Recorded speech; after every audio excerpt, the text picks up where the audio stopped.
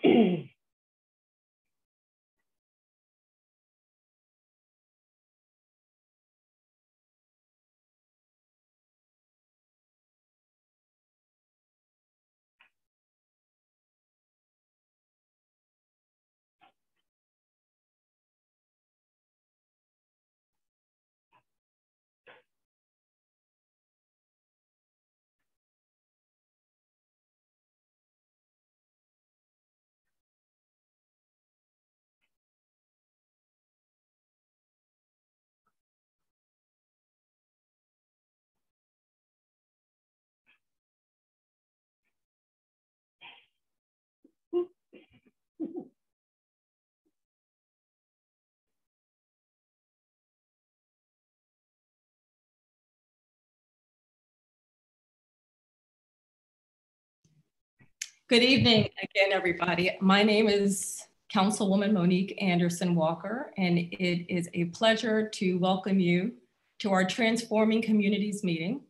Uh, we call these Transforming Communities meetings as opposed to um, just a regular meeting or town hall, because our whole purpose for these meetings is to engage the community, engage our agencies to find ways to transform to become even stronger and even better. Um, we have several uh, panelist speakers with us today, and uh, out of consciousness of their time and the, the hour, we want to make sure that we get through um, the presentation. Um, I'm going to speak a little slowly just because my tendency is to speak very fast. And I want to make sure that you do understand everything that I am saying and that if there are questions that you have an opportunity to uh, put them in the chat or uh, raise your hand. If you put them in the chat, um, my staff will collect them and be able to respond to them as well. Uh, we are so grateful uh, to have gotten to this point. Um, it's been an incredible year plus, year and a half, almost two years uh, in this COVID period. I think we've all learned so much. We have all turned outward. And when I say turn outward, we have had no choice but to really spend more time outdoors and perhaps even get a greater appreciation of where we are and our land and the reason for making sure that we can preserve what we do have and recognition that uh, to a large degree what we have around us is an indicator of our health and the health of our communities. Um, you'll hear later from uh, individuals speaking about um, environmental challenges that we're all having around the country, but that um, we're working diligently to find solutions to. And that is, you know, with flooding and of course the attendant issues of mold. Uh, and, and to that, to that um, end, looking at silting, some of the issues we're having with silting in our waterways. Uh, District 8 is unique in that it stretches from National Harbor, so right at the mouth of the Potomac River, uh, inward into the Beltway, outward outside of the Beltway, and then um, is inclusive eastward of all of Joint Base Andrews and a Branch Avenue Metro. I think it's important to know the geography of where we are and what's contained here.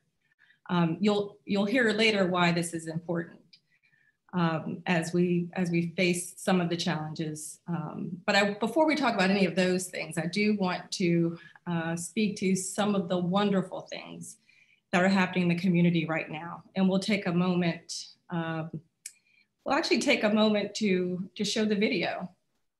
Uh, which is next. And then I'll go through a few of our um, new attractions in District 8. As of course you know, I, I love to refer to it as District GR 8, District Great. Um, these new locations we refer to as D8 spots or our new date spots. You know, I'm here all night, so uh, who knows what else we hear. but let's get started with the, um, with the video.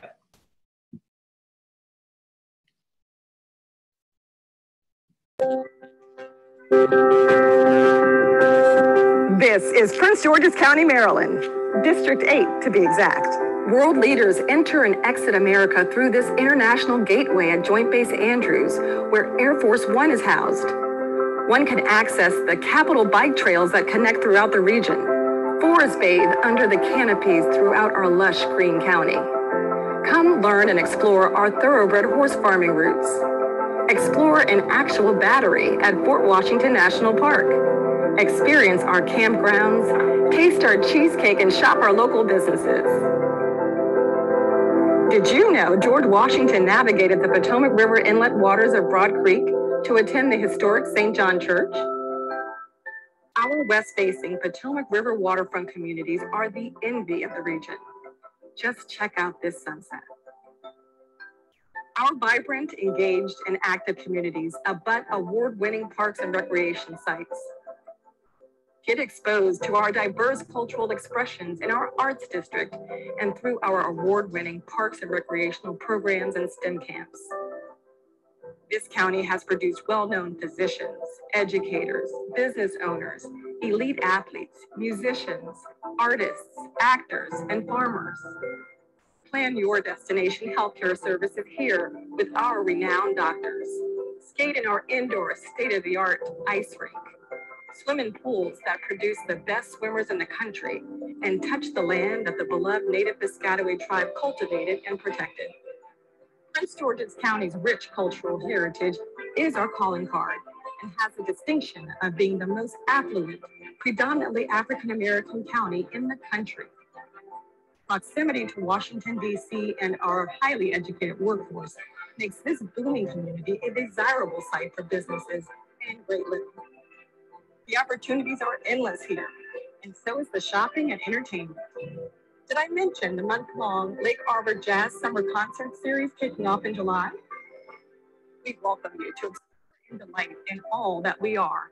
This is Prince George's County. This is District Great. I'm Prince George's County Councilwoman Monique Anderson Walker, and I represent this great district. We look forward to welcoming you here very soon.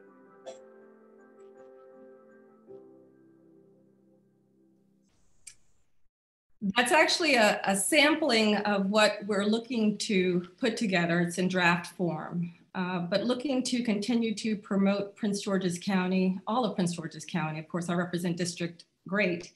So um, my portion of this video will look like this, but the hope is that all of our council members will uh, find an opportunity to try to highlight those wonderful things in the district. And many of those are free. Um, and, and you can't get them everywhere. So we're, we're very fortunate to have uh, the resources here. Uh, I do want to touch on some of the wonderful things that, uh, piggybacking on what you just saw, uh, we have wonderful trail systems. We have about 180 miles of trails inside of um, Prince George's County. And these are biking trails as well as uh, you know, hiking trails, many of which are beside wonderful creeks, uh, which really makes for a, a, a tremendous experience um, to get out. And hopefully we can advance to the next slide and you'll be able to actually see some of the, the visuals. The next slide. Yeah, so this is, uh, this is actually uh, on our trails, uh, biking with representatives from Texas uh, that, that came to Prince George's County. They actually came here for a National Association of Counties meeting. We had uh, taken them on, on bike rides and when they came back, there was actually a delegation that was trying to avoid the quorum in Texas um, as to not have to vote for voter suppression laws. Um, when they were here, they reached out to us and said, we want to we want to ride with you again, and we want to see more Prince George's County. So we're very excited that we had an opportunity to um, to advance uh, that opportunity to them as well, and to teach people about all that Prince George's County is. Uh, it's good also to know we're not Washington D.C. We have our own flavor. We've got our own um, special qualities, and we want to make sure that we start to promote those uh, and not just be the outside community that outside of the district. Um, but we can advance to the next slides. I will say that we are looking to um, promote more ridership. Uh, we have an event coming up on Saturday, October 2nd at Bock Road uh, from 12 to 2, and that will present opportunities for people to learn uh, different riding techniques. And for those who want to ride trails, they can join us as well. Uh, this slide represents our new circulator, our District 8 circulator. So we call it a date to circulate. And we actually have two dates during two days during the week, Tuesdays and Thursdays, where we go to six of our senior apartment buildings and we um, get them out to go shopping. This is all free to them as well. Shopping, uh, grocery shopping, that is, uh, we also drop them off at Tanger outlets, um, bring them to locations like Bock Road for exercise entertainment and to engage with other people. So we're really trying to make sure that our senior population um, is not isolated um, for, for their personal physical health, but also their mental health. We can move on to the next slide. We're very excited about our District 8 Global Air Drone Academy, which kicked off in July. It is the only camp of its type in Prince George's County, and it's in District 8. Uh, what's wonderful about this is that it's free. Um, I was able to utilize some funds uh, to underwrite about $75,000 uh, for uh, several weeks of camp for students. Uh, the students range from elementary school students all the way up to and through high school. What's extraordinary about this is the students get to build their own drone that they take home with them. They learn how to program the drone. They learn the rules of uh, drone uh, flying. And the whole purpose of this is to get students in a position where they can have used several applications of this drone technology for career opportunities for them, um, as well as safety and, um, and, and other covert uses. And I'll tell you a little bit more about that too. We, we partnered with Joint Base Andrews. They were very excited about this and, and uh, decided that they wanted to take it out of Oxon Hill High School where we had it for uh, the first four weeks and uh, bring it on to Joint Base Andrews, uh, which is tremendous. Um, that exposure experience brought another level of, of learning. Uh, in addition to our drone program, Joint Base Andrews has its own counter drone program. um, that they are very interested in teaching our students about so that our students can then learn how to counter the counter drone measures. um, we've also, through this process, um, had the uh, intelligence community reach out to us to join us in partnership. Um, and in this respect, we're looking forward to our high school students getting internships that will um, support uh, students, some students, qualifying students, to receive um, security clearances. We think it's important to look at um, career readiness well before graduation. And uh, many of these students can get their, their drone license by age 16 and can actually start their own careers working for realtors, um, getting imagery from above, working um, in safety, uh, road and power companies. So there's there's so many options, and this is this is truly a STEM STEAM area: science, technology, arts, engineering, arts, and mathematics. That is um, that's really going to put us ahead of of a lot of other um, areas. So we're happy that Prince George's County has this. Uh, and we're happy that Joint Base Andrews has um, decided to, um, to take a bigger role in this. Let's move on to the next slide. We also had ribbon cutting at Tucker Road Ice Rink, uh, which is the reopening of an ice rink that I skated on um, many years ago. I'm 50 now, so you can imagine I was a very, very little girl. And uh, it's just exceptional to see that uh, the capability of this site now has uh, two NHL regulation um, ice rink or the potential for two. There's one existing and space for, for another one. Um, our, our students, our kids can learn everything or continue to compete. Uh, the Ducks, uh, who have been phenomenal hockey um, hockey team for quite some time, and then we have our figure skaters who um, have gotten national recognition. So let's, let's move on to the next slide. One of the other big, uh, I don't know if you call this a date place, but it is in D8. Uh, this is a hospital, uh, Adventist Healthcare. We're very excited about uh, what Adventist Healthcare brings to our region. Um, they are renowned for their, um, their brilliance in, in medicine and in um, bringing up the quality of health in areas where they decide to locate. So we're happy that they're here in Fort Washington, and uh, we understand that they're looking for a certificate of, of need for greater expansion, which is tremendously important. During uh, the kickoff of COVID, uh, this area was hit greatly, uh, and uh, the woman that you're looking at on the um, right side of the screen is uh, Eunmee Shim. She's a visionary and she recognized early on that there weren't going to be enough beds in that hospital to really um, address people's needs. So uh, she coordinated with and uh, really moved and shook to get temporary uh, hospital beds, 46 additional ones, um, working with the governor of Maryland, Larry Hogan, and um, and uh, and his wife as well, Yumi. Uh, we can move on to the next. Uh, Prince George's County uh, District 8 represented uh, at the MACo con conference, which is the Maryland Association of Counties conference. Um, I moderated this in, in, focusing on safety or road safety, uh, not just for vehicle, but also for pedestrians and cyclists. Everyone who likes to get outdoors and get on the road um, has a role to play in their own safety. Um, and, and, these are some of the opportunities we have to, to present that. If you're not familiar with hashtag driving at home, just Google hashtag driving at home and you can learn about the tenets of it.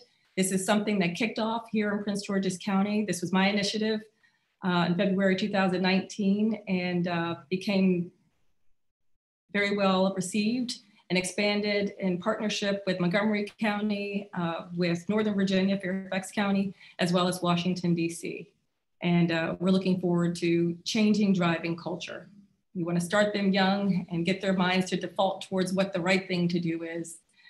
Um, and, and this, uh, these are photographs of uh, Major General Joel Jackson, who is the commander of the 316th uh, Wing at Joint Base Andrews, and, uh, and um, also Commander um, Tyler Shaw, who is uh, with the 89th Airborne.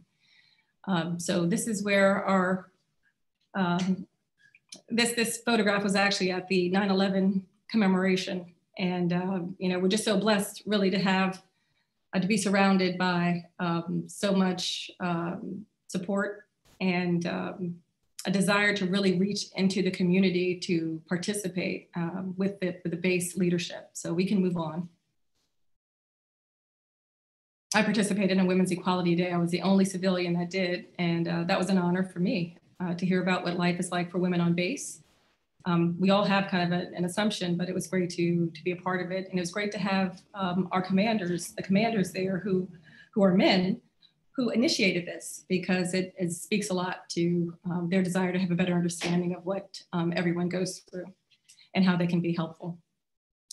Next slides, please. Uh, two of our businesses that opened up recently, Mahogany Books, which is at National Harbor. National Harbor has really turned over. You know, COVID was rough in some respects, but it presented opportunities in other respects as well.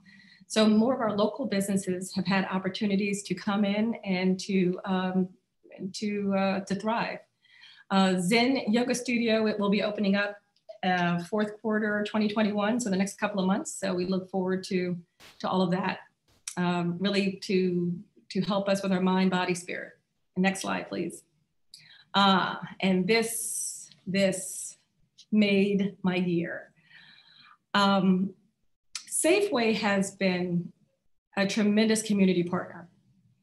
Safeway partnered with us and with uh, faith-based organizations during COVID to provide vaccinations. And um, what was phenomenal, what was phenomenal is that we had pharmacists come out and literally spend a day, a week, giving vaccines um, over over several weeks, and uh, and we were able to to really help a lot of people. Uh, what's extraordinary also is that they're, they're now under new ownership. Albertsons owns them now. And they have invested uh, over $2 million in the Safeway at Rivertown. I had an opportunity to come out to the ribbon cutting, uh, the reopening of it, and was just so impressed with just the airiness, the brightness of, of the store. I'd been in the store before, it didn't look that great. so now it looks fantastic. They have 9,000 uh, new items. In addition to plant-based section, organic se sections, and high quality meats and seafood. Um, it was very impressive to go in there, but more than that, it was impressive to see the passion and the love that the leadership um, put into it. And we're, we're, fortunate today because we have with us, um, is it Phil White is with us, as well as Donovan Ford. So Phil White's a district manager of Albertsons and Donovan Ford. I would love for you all to just uh, speak a little bit about um, what all you're doing, what Safeway's doing here.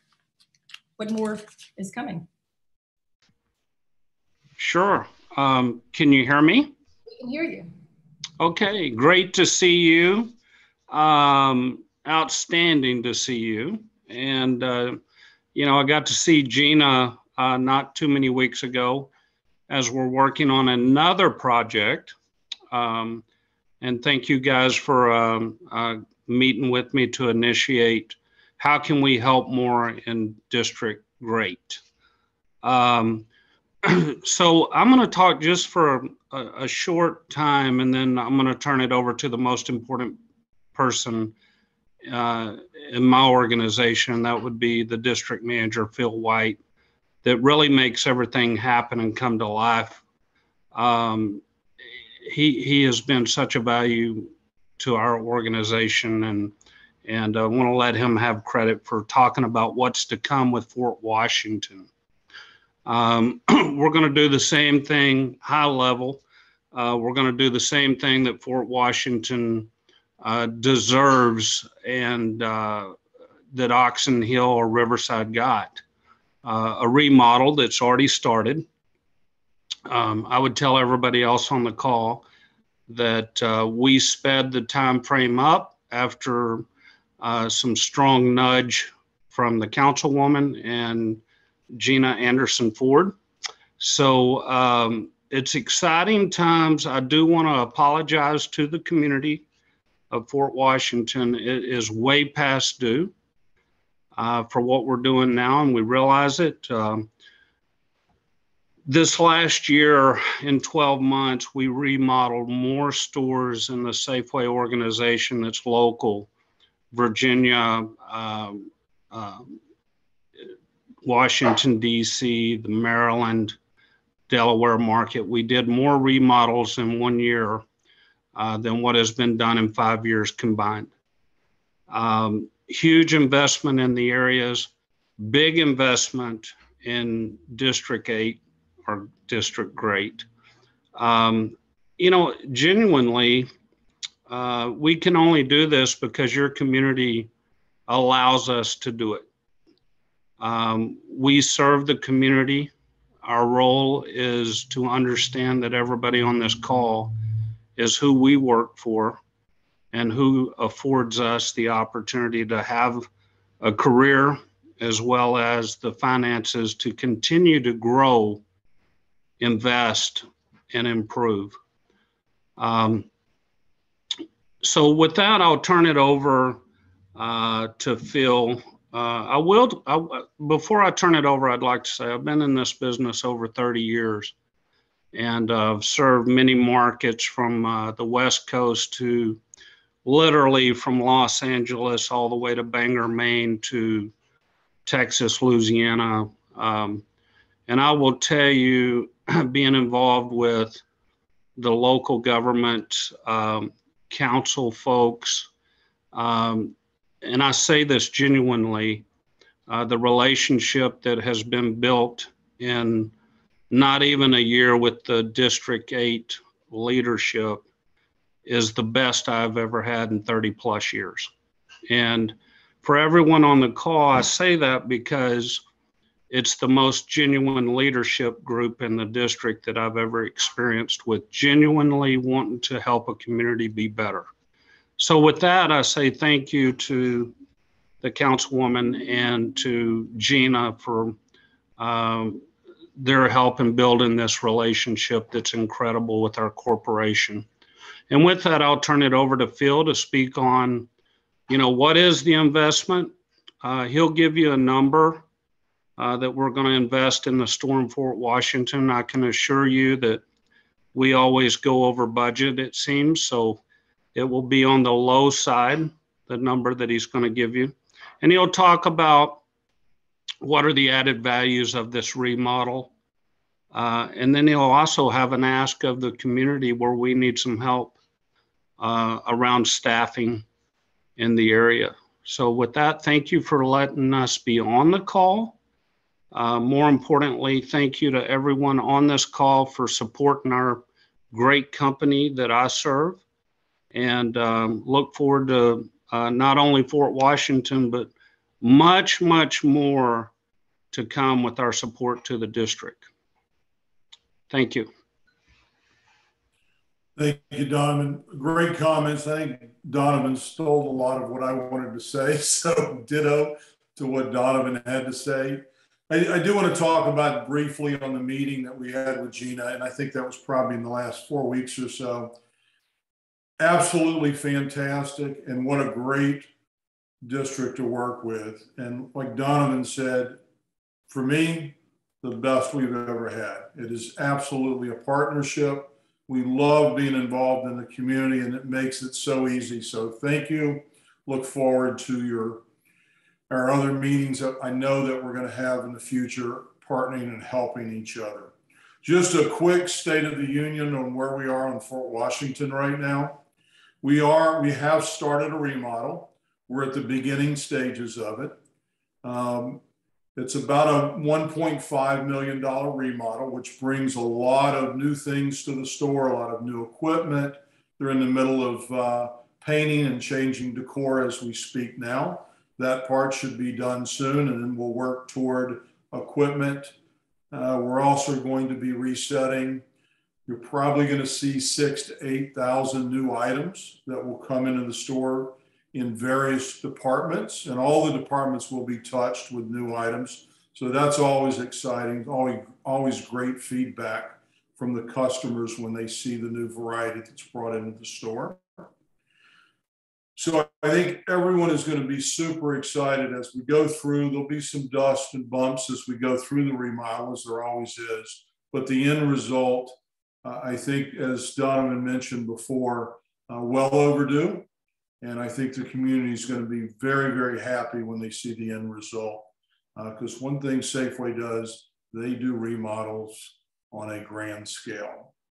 The one I asked that I have, I was talking to Jesse, the store director in Fort Washington earlier today, and he was able today, he hired eight individuals today, and he's been hiring every day, tries to hire. So my ask for the community, uh, we are accepting and interviewing daily.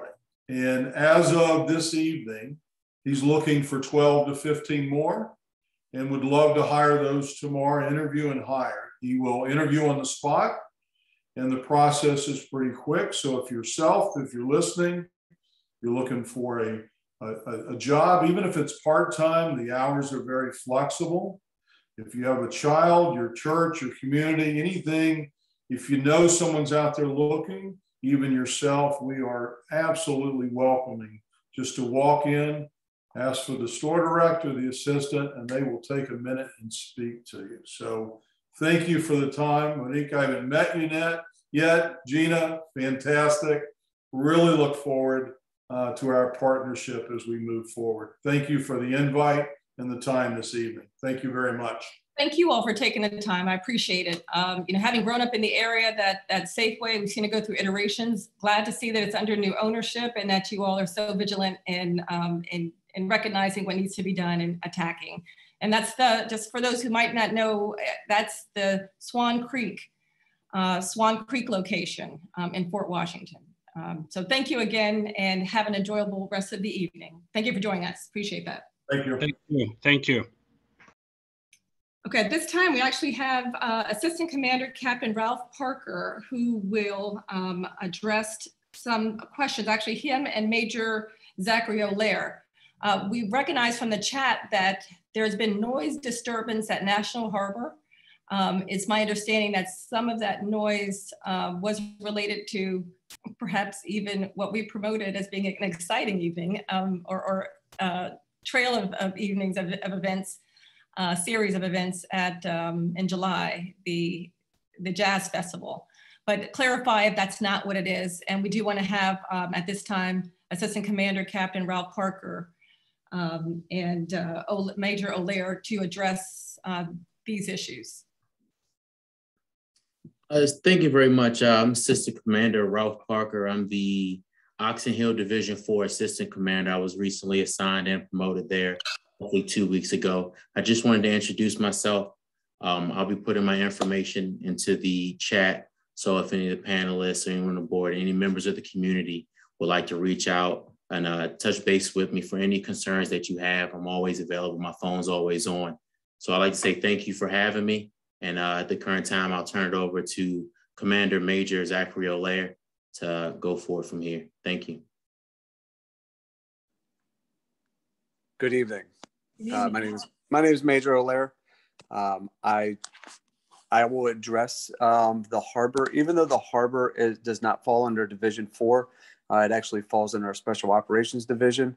Uh, I did actually speak to the captain, Captain Weingartner. Uh, he was recently transferred to uh, the assistant commander SOD and overlooking the harbor. We actually spoke today uh, about the noise uh, of the vehicles in the harbor, which I think is the complaint.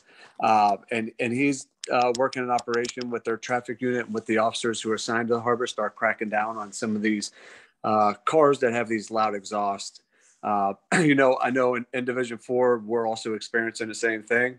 Uh, Branch Avenue area. Uh, I think Mr. Robinson, I think I saw you on here over on um, um, behind the 7 Eleven off of Oxon Hill Road.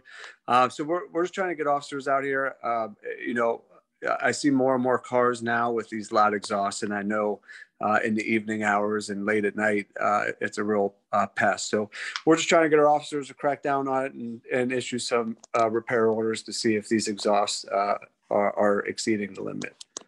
Uh, as far as District 4, uh, our crime is steady this year. We're actually about even for the year. Um, what's what's helping us is our property crime is down, which we struggled for years to try to get control of.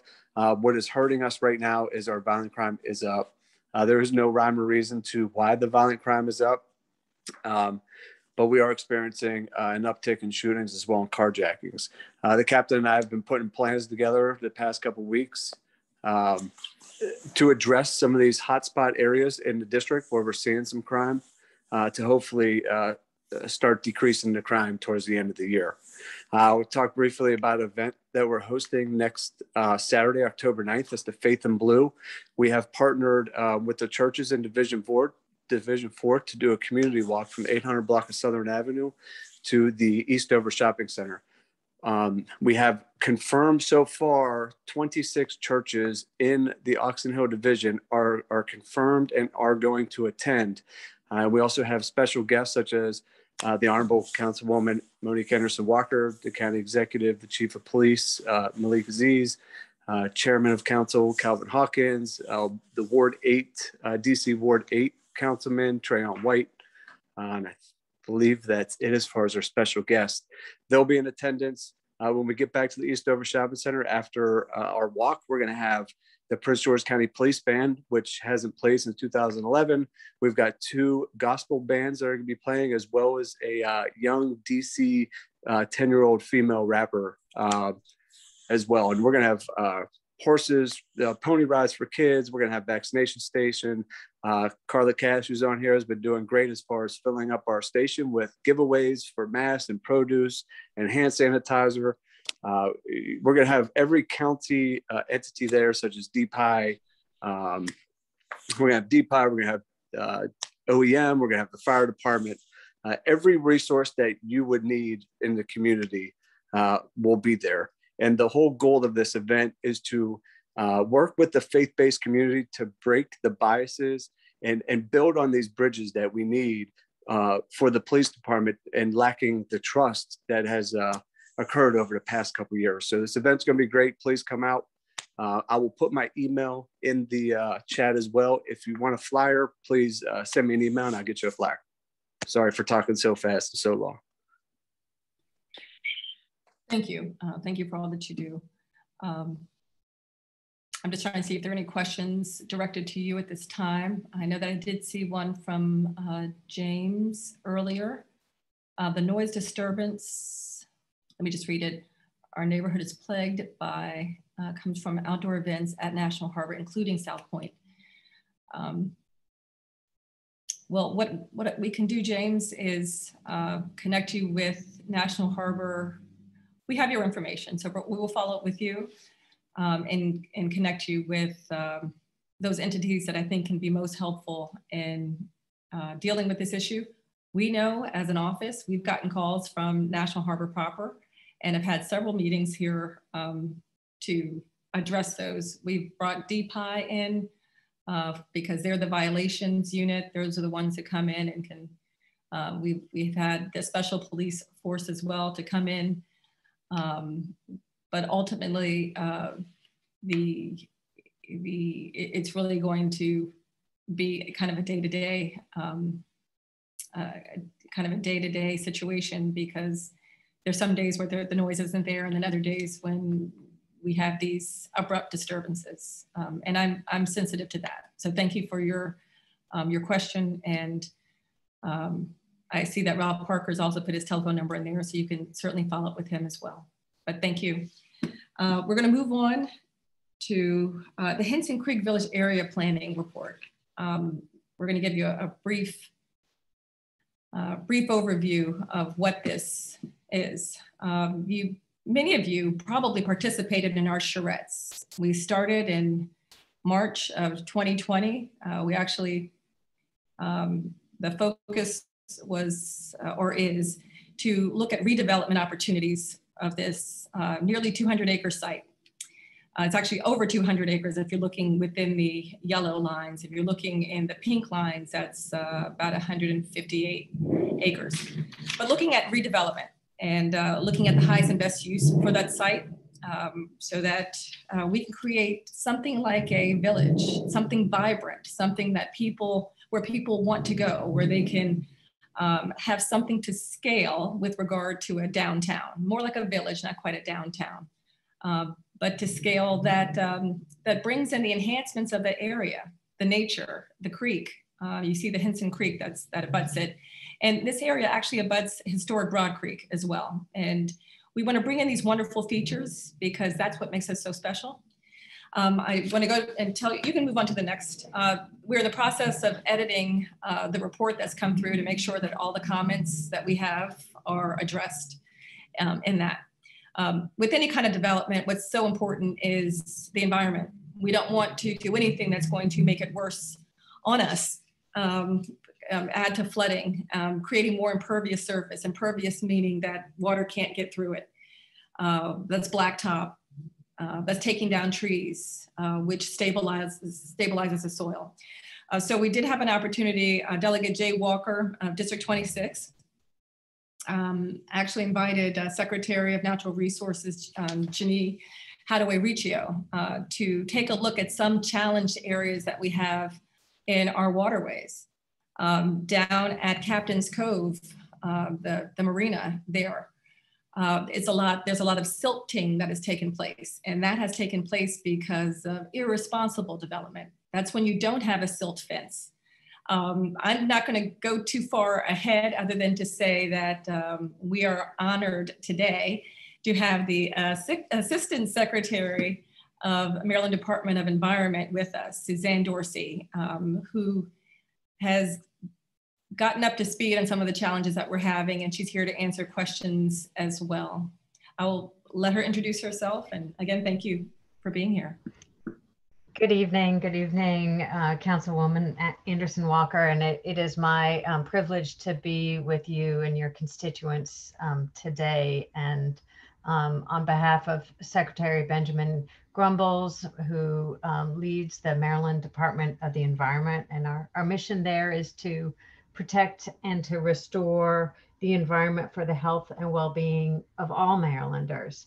And if you'll just give me a moment, I'm, I'm going to assume that um, many folks may know what Department of Natural Resources does in protecting our, our natural environments, but um, what, how is that different from Maryland Department of the Environment? Um, Maryland Department of the Environment um, has jurisdiction over permits associated with our built environment, and we protect our built environment so that we also have a vibrant, sustainable, healthy, natural environment. So we are delegated by our federal government, the Clean Water Act and the Clean Air Act. We have authority under those federal um, documents. Um, but we have priorities that have been set forward by Secretary Grumbles, and, and all of us work in everything we, we do to address these priorities. Um, really, very first and foremost is our priority of environmental justice recognizing that historic racism is real, recognizing that the impact on our communities is visible, and that we have a duty to respond um, immediately and effectively. So we um, have environmental justice as a uh, priority for the Maryland Department of the Environment in everything that we do. Um, another uh, priority for the department is our commitment to addressing the impacts of climate change on all Marylanders. We recognize that some of our most vulnerable communities to uh, climate change are also environmental justice communities. So we also look at climate justice as a priority. The Maryland Department of the Environment oversees the Independent Climate Commission. Your state has the Maryland Commission on Climate Change. And uh, last year, an independent think tank rated uh, Maryland number one in the nation for combining carbon reduction with GDP growth. We do that using the Greenhouse Gas Reduction Plan. And we have uh, very specific plans and targets with a clear sense of urgency to address climate mitigation, which means reducing uh, carbon uh, releases that, that cause climate change, um, adaptation, getting ready for the changes that we know are here and are coming, and um, mitigation, uh, trying to avoid the damage that those changes will do. Um, we also have a priority of the cultural heritage that we all share along the Chesapeake Bay. And the Chesapeake Bay uh, restoration, again, impacts every part of our state. Um, it is an important cornerstone. We're global, global leaders in protecting our this incredible national treasure. And we um, do that by starting with the local waterways. So where uh, our local waterways, the majority of our waterways in, in uh, Maryland do um, empty into the Chesapeake Bay, if we start by having clean, healthy local waterways, we can ensure that our Chesapeake is also clean. And finally, the last priority is customer service. So we want to make sure that we're responsive. Um, we want to listen, hear your concerns, and uh, respond as best we can with the rules and regulations that are under our jurisdiction. So one of the issues that I'm delighted to bring up, and I, I won't go into too much detail because probably not everybody on this call is as interested as I am, um, is the municipal separate storm water permit. So this is a permit under the Clean Water Act that we oversee for um, the counties. And it is a tool that we use to help you respond to issues around um, the water quality that comes off of those impervious surfaces that can, Councilwoman Anderson Walker described. The water, the, the quality of that water, that water can pick up toxins, it can pick up oils and other pollutants and bring that to your natural waterways. Um, we also recognize that um, flooding is also a result, particularly in our changing climate, of um, not keeping up with what's happening in our stormwater infrastructure. So we oversee permits and uh, PG County is um, working under an administrationally extended permit from 2014 and we expect to have a new permit for them next year, early next year. These permits reflect the Clean Water Act's newest iteration, which instead of looking at any one pipe, looks at a watershed. How do we not just um, Uh, deal with one point source of pollution, but how do we deal with a watershed? Where can we identify sources of flooding? How can we address it at the source and downstream where that flooding is, is impacting? The Maryland Department of the Environment does not actually do the work. We work with the county and we support the county with funding. We support the county with expertise and guidance, um, even as we get that same funding, expertise, and guidance from the EPA. So we are very um, interested in supporting Prince George's County you have a new um, acting director of your Department of the Environment, Andrea Crooms. She and I have had many conversations and will continue to bring forward holistic watershed based strategies to make sure that we're protecting both the health of your natural waterways and the people who live there. And I'll just end with two important new um, items that we are bringing to your new permit. One is an, a real fil- uh, real focus on natural filters. And I'm uh, I'm aware that uh, Councilwoman Anderson Walker is also interested in um, tree planting. Um, might I suggest humbly that we call it tree growing because we want to grow trees and let them do the important work that um, impacts our souls, but also cleans our air, cleans our water, and slows down flooding waters. So growing trees is an important new component uh, that we're asking counties to bring to help be one solution to address flooding and many other things.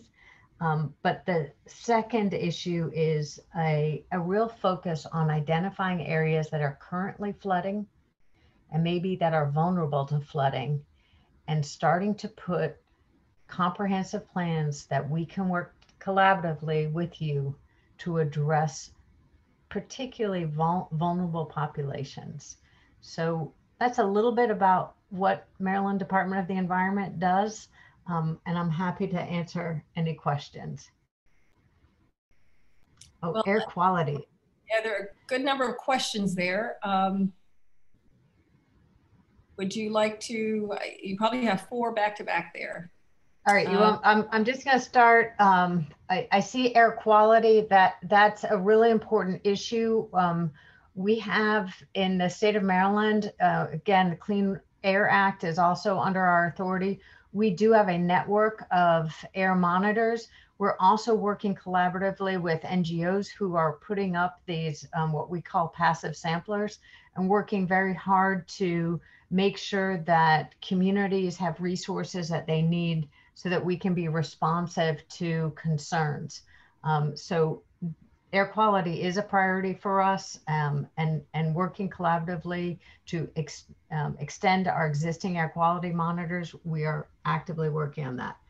Um, How can we the get, Fort Washington Woods, um, these are the, the school, the school, uh, you know, I, I wish I had an easy answer for you on, on the woods. The, the place where MDE was active on those woods is the permit, the early permit process where we require the county to have public meetings. Um, we have been on site. We've been on site uh, frequently, and we will continue to send inspectors. As recently as yesterday, we had inspectors on site, and they've improved some of the stormwater um, infrastructure that they have in there, uh, that they've got on the site. We do require that the um, site will have uh, stormwater tools and and I, I I suspect that the community members are are with me that there's very little in this world that actually replaces trees. So I, forgive me for saying this because I share your value associated with trees. And we also uh, do require that any site like this treat stormwater such that the quality of water coming off this site is equivalent to the quality of water coming off the forested site. Um, we are also doing our best to work with the county uh, to make sure that any flooding risk is mitigated. Um, but our ability to stop this after the permit has been issued, we don't we don't have that authority. We have talked to our attorneys uh, to determine if we have any authority, and we we just don't. Um, let me see if I can get a few of those. Um, let's see, let's see, something about air quality and the community. Um, is there anything? Yeah, and the Swan Creek trees. Yeah, I'm I'm very I'm very sensitive to um, the feelings of this community. I, I'm, you know, Councilwoman, I do you are you aware of the um, the public meetings? Because according to my staff, there were public meetings associated with this. Um, I wasn't involved with the issue then, but that that was really the opportunity I'll, I'll I'll to just, put a halt to this. I just want to step in. Um, There weren't, there wasn't adequate transparency, which is part of the challenge here. Um, Basically, people in the community learned about it. If you didn't attend or didn't have a child attending Potomac Landing Elementary School, you didn't get the letter. Um, But the impact area are the people who actually live around it. So those are the people who should have gotten, uh, those, those are the stakeholders as well. Um, so the way that the information came to us is that a new school will be built and the information was, and we'll start taking trees down in July. So as soon as the community became aware of it, they reacted. So just to be very clear, people want a new school. That is not the issue.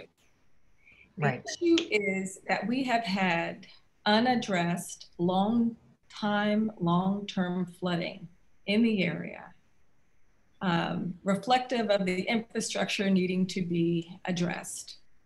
And that has not occurred. So the compound issue of removing 24 acres or 30,000 trees in an area where we already have evidence of destabilized soils. Just watch the news. There's been a lot of reports about um, Asbury and Hallwood Place that is notorious. A developer was able to come in, take all the trees off of a hill, uh, put a retaining wall, and thought that that was enough. And what has occurred is that people at the bottom of the hill who fought the development, fought the removal of trees, lost. And as a result, they've been in their homes 35 years or more. Their backyard is shrinking because the slope is failing and it's pushing towards their homes. One home has been evacuated at the bottom of the hill, two homes evacuated on the top of the hill. Uh, the challenges that we have here are without question an equity issue. Uh, it's also a, a question of, um, well, I'm not going to I'm not going to go as far as to say what I was going to say, but I will say that uh, the development lobby is very strong, and um, uh, the opportunity for developers to get waivers when they should not receive a waiver. Example is Hallwood Place that should not have been developed. A waiver was granted. Um, these things affect people. Uh, unfortunately, our, our laws in many ways don't protect people after the fact. So people's lives and their livelihoods are ruined. And more than that, properties are devalued. Um, if we go on, there's some other photos here that we might have with, that show silting. If you go back where Jay Walker is, the silting of of a creek is a big deal. Um, the top left slides show the outflow of stormwater, um, uncontrolled. And we actually have video that I, I, think we may have sent to you a couple of days ago of uh, what looks like a river running from the street through this person's backyard into uh, this inlet of the Potomac. As a result, their boat uh, they have a boat that's on a lift, they cannot, they cannot launch. Um, the value, you know, they bought their people pay a lot of money for houses in this area and to have waterfront properties, but it is, um, it's a slap in the face and it's, it's devalues uh, our homes, our investments. Um, that is a crime. Uh, what people are asking for is intervene because once these trees are gone, that's it. Gina, if you go to the slide that shows um, the side by side of the 24 acre site, that's uh, the subject site, as well as if you look to the right, that's the subject site. That's a 24 acre site, fully forested, fully forested. Uh, what you don't see is that this is at the intersection of Swan Creek and Fort Washington Road. Swan Creek has notorious flooding in that area we have shown videos when this came to our attention that this was going to be uh, built. Uh, um, uh, the community rallied and and showed um, video. Uh, what what else can we what else can we do to show proof that this is only going to make things worse? No matter how much silt fencing they put up here, the runoff is tremendous because our deluges are tremendous. And if you take out the stabilizing trees, then you're you're you're setting the community up for a catastrophe. And it's, um, one would think that there would, there would have to be an intervention when there's an understanding of the catastrophe that will come. When you look over on the left side, you see the potential for a 24 acre site. So you can still achieve 24 acres if that's the means, if that's the end that you want. Um, the current school site, this is a, a fifth through eighth grade school. Um, and this, the plan was to have this absorbed into the K through eight site. So essentially, you don't need to clear 24 acres if you already have 10 acres of cleared area, which is where the school is, and then you have it abutting Maryland National Capital Park and Planning Area, that uh, land that's 13.87 acres.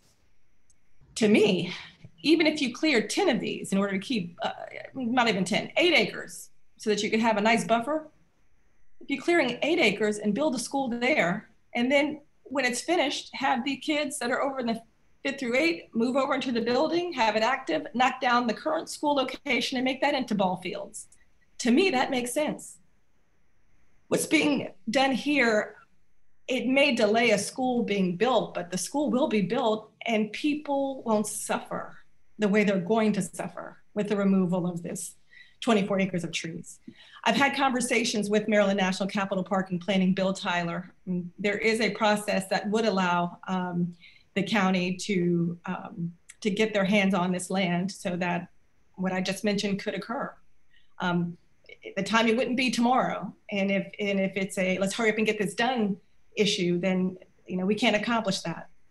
But I think it's worth um, it's worth someone from the hires up taking taking the time to say, hey, we know this is not normally what we do, step in, but we know Maryland Department of Environment is the only entity at this point that could do something.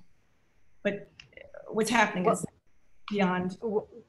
What I've heard and I've written down and I'll, I'll take back and I'll ask staff to review is the, the public meeting that you were notified after the fact that adjacent neighbors were not notified. I will pursue that and, and get back to council, the councilwoman. Um, I, I um, again encourage you to continue to work with the county. If the county um, chooses to stop this effort and responds to your community, then MDE will work with the county to um, look at other sites, um, address flooding issues. Um, we stand ready to support the community um, in addressing their flooding concerns. I hear you. Uh, you want to address flooding concerns before they become um, you know, a, a, serious problem. They already are a serious problem. You don't want to exacerbate that. Um, and we we stand with you to support you in your addressing your concerns and and raising those with the county and um, Councilwoman Anderson Walker. I you know I I will um, you know attend any meeting with the county that you invite me to and um, use the technical knowledge of our department to support good decision making and support your and if there is any of the jurisdictional tools that we can bring to bear on this, um, you know, we will do so. Uh, but um, you know, we we want to make sure that your community is represented, that you have excellent access to technical tools, and um, you know, we will work with you and the county to get to a resolution that that you're looking for. I, I know that um, you are looking at the comments in here. You can feel the passion just reading, reading these comments from people. 100%. Listen, and, and when it's stated that we're told things after the fact, this is not unusual. This is part of what you mentioned earlier about uh, environmental racism. This is something that happens. This is, let's come in and do whatever we want to do over there and whatever. Let them try to do something that we can't we can't send the message that you can get away with that here because people will just continue to do that. And if it's not maryland department of environment to step in that it's not going to happen because there's too much control um, down here by uh, by people who, who don't necessarily uh, care about uh, the impacts on people as long as their bottom line is strong. And we can't we can't have that. So we're, we're pleading with you uh, if, if the information you've you found out is, is uh, something that could be, um, you know, change the direction um, with the knowledge that these people were not involved, um, please let that be the direction that we take. And, and, and listen, we, we, we got people who will rally to, um, to give you whatever information that you need to support, um, to support this. But um, this, is, this isn't right this isn't right. And it's not a matter of, oh, we don't want a school. That's not it. We want a school. We've been very clear about that. It is the location. And wouldn't it make more sense to use a site that already has the infrastructure in place and just continue on a site where the infrastructure is there and you can still achieve without taking down as many trees? You know, you established earlier, trees cool areas. Uh, they mitigate water. They uh, bring value to homes. And by um, you know, by the other pop property, you look at it as taking away trees, devalues homes. So we don't want to devalue the community. Um, yeah, and we know that planting saplings back they don't have 200 year old root systems, so they can't achieve what needs to be achieved. That can only be achieved by this, by what's here now. So thank you. Thank you for your time. Going to move on to the next slide. Let me see if there's any, any other um, questions that might come up. Well, actually, you might want to stick around for this one. Um, Assistant Secretary Dorsey. This, this is um, Andre Gingles um, is an attorney for a developer who is proposing to develop on a site, um, uh, actually to change the, the density of the zoning through a text amendment from um, rural residential, so farmland, to, uh, to industrial uses on the site. Um, uh, the site, I will, I will let him come on and speak about what he is, what's being proposed here. And um, the bill is CB 78. Uh, one of the bills is CB 78. The other is uh, the CR 87, which is a WSSC category change from a five to a three. Um, Ms. Dorsey, do you want to explain a little bit about what a category change is? And how that might impact things, or is that not really your purview? Yeah, probably not my, that's a planning and zoning issue. Right. So, but the, the category changes, um, imagine this, look at the farmland that's here. Uh, the reason that it's in a category five is because it was never intended to be developed be, beyond this, the impact that you currently see. Right. And, and here, here, here's, if, if you switch that to very highly impervious surface, I will tell you that your county is required by our, our stormwater permit to have a, a certain level of impervious surface restoration. Um, and, and I will put it, um, I'll be, I'll try to be delicate. PG County is not leading the state in impervious surface restoration. So there is significant pressure on your county to ensure that um, if you do develop property, that you have to also be uh, treating or restoring, if not that site, some other site site with things like um, green filters. Um, you can use uh, technology like infiltration ponds, but um, restoring forests is a wonderful way to address that. Um, but I, I, I do, I can speak to the impervious surface component. Okay, I appreciate it. Uh, thank you again. And uh, Mr. Gingles, will you join us and speak a little bit on the uh, proposed bill, uh, CB 78, an ordinance concerning solar powered renewable energy facility and warehouse and distribution uses in the rural residential zone for the purpose of uh, defining solar powered renewable energy facility in the zoning ordinance and amending the table of uses in the zoning ordinance to permit solar powered renewable energy facility and warehouse and distribution uses in the rural residential zone of Prince George's County. When the warehouse and distribution use is particularly or partially powered um, by renewable energy under certain circumstances. Whenever you're ready, Mr. Gibbs. Uh, good evening, all. Um, and I uh, had the good fortune. I just need to close my door because the folks have come in to do some things. I don't want to disturb us.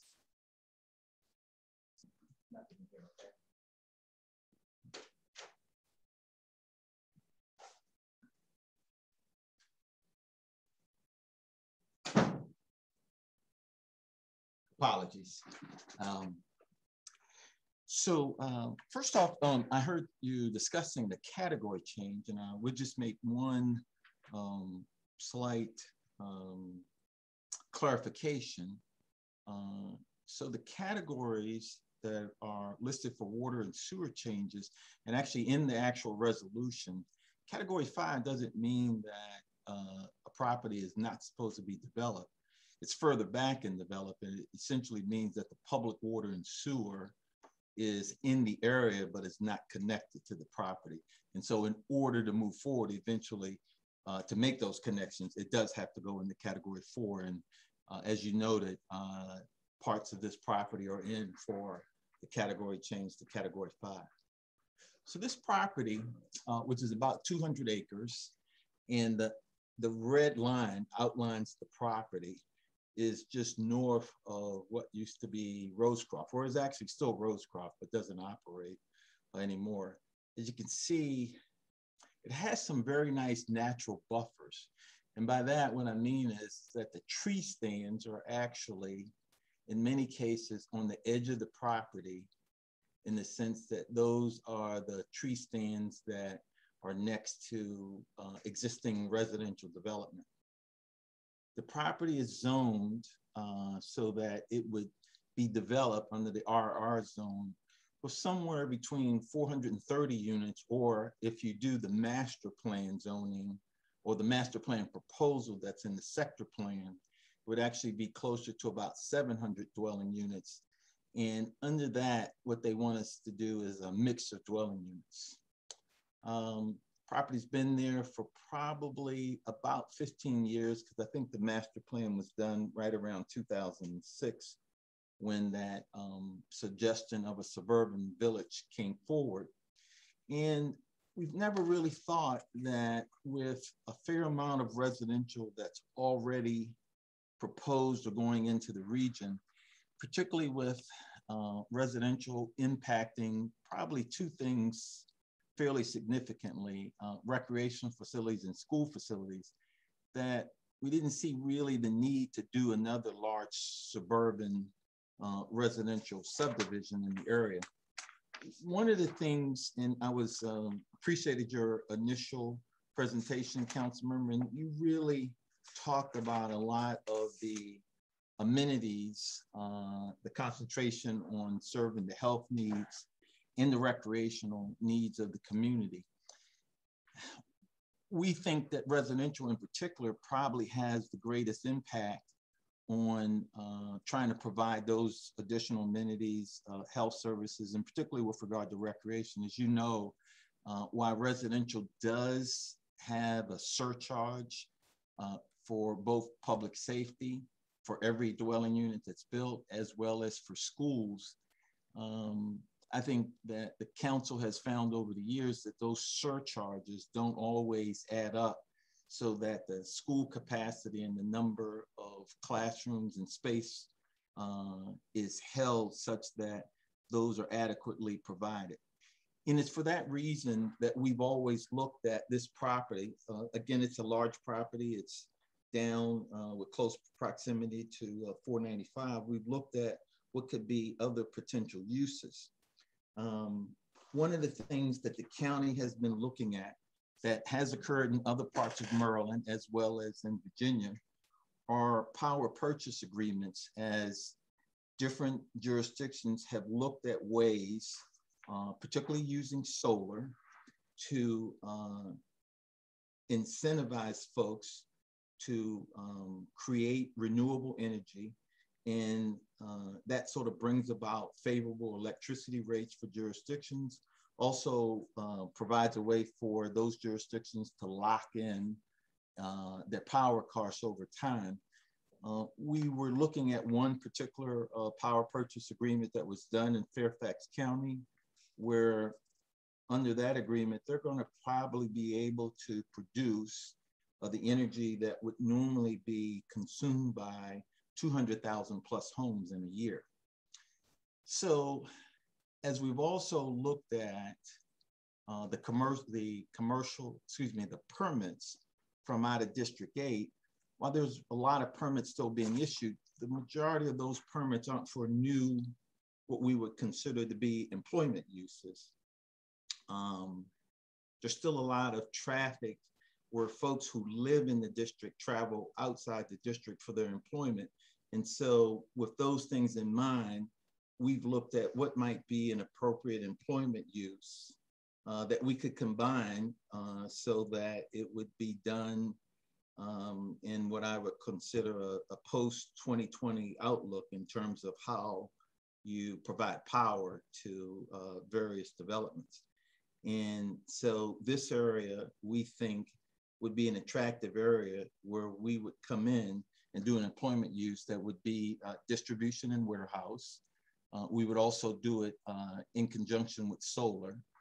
Uh, and the solar would power, the, first of all, the solar goes to the entire grid. And so the user that would be there would be able to purchase that power off of the grid.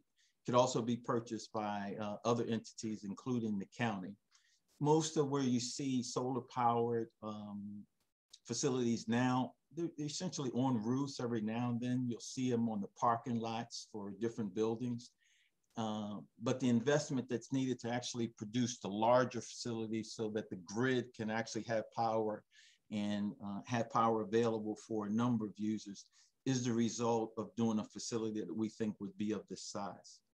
Um, this development would also, uh, or and actually any development that would come there, whether it was residential or something like what we're proposing, would ultimately need to do some transportation improvements in the area. Uh, one of the things we think about doing a development uh, such as we're proposing is that the trips that are associated with, let's just say somewhere between the, the low end of 400 and the high end of about 700 homes, that the trips that would come from doing the employment uses, one would be less trips, particularly during the peak hours. And two, um, we think that the property tax base that would also be generated from doing that type of development uh, allows for those property taxes to go more to the uses that are not um, the public facilities, i.e. schools and recreation. Um, the legislation is uh, just sort of starting through the process. So I do appreciate the opportunity. Uh, while we've been able to discuss this over the past two years with you, um, I do appreciate you providing this opportunity so that we can begin to share it with the community. Uh, we've actually uh, begun um, identifying some of the associations, particularly the associations that border the property and uh, would be commencing some outreach, but I, I, I, just think this is a great opportunity to sort of talk about it in general. So that's it in a, in a nutshell. Uh, I can answer any specific questions if anyone has them, but essentially um, it would probably be a facility um, that again would probably produce less of a footprint than if we did the homes that we are allowed to do by right, um, would probably generate more tax revenue with less impact on public facilities, and would also probably provide for more transportation improvements, particularly along Brinkley Road and where Brinkley Road begins to intersect over with Oxon Hill and that sort of um, phalanx of uh, intersections that run along there.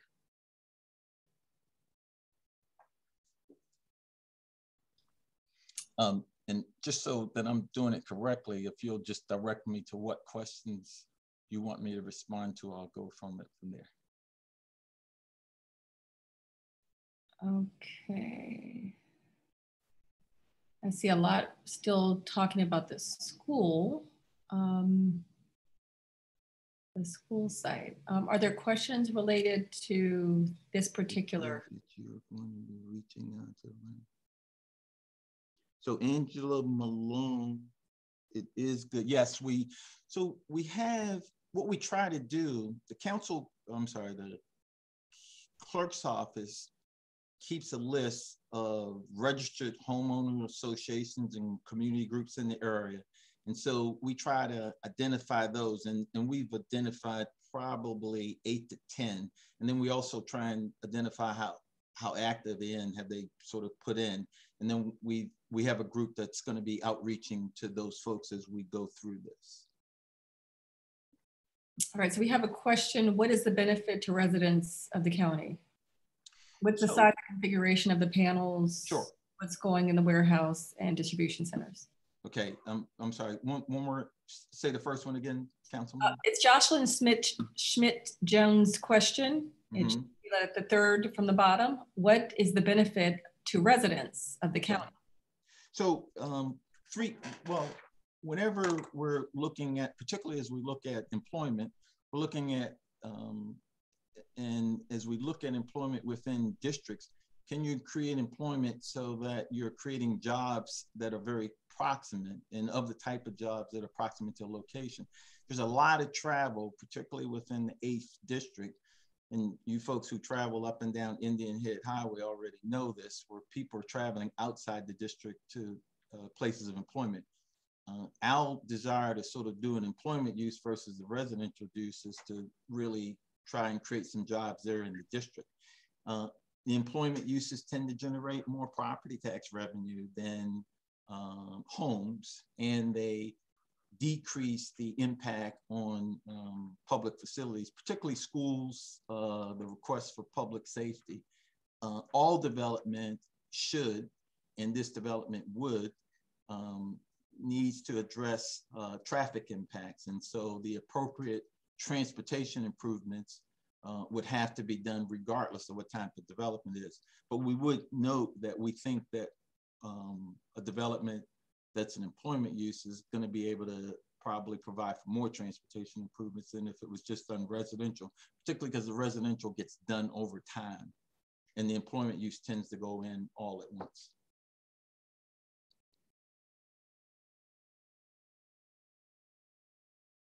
I'm going to still let you direct questions to me, Councilman. Yeah, and just give us a minute. Sure, Uh, sure, sure. I'm looking at a question here. I was not aware that we have a great need for warehouses in this area. Livingston Road. So um, I think most people will, well, I shouldn't say most, I say a lot of folks, and, and I don't do this as much as Mrs. Gingles and my daughter and other folks I know, but a lot of folks, which has particularly increased during the pandemic, um, do a lot more shopping online. And uh, what we refer to as last mile delivery is um, a growing effort to locate, uh, particularly as same day delivery becomes more prevalent, uh, locations where businesses can either the same day or overnight.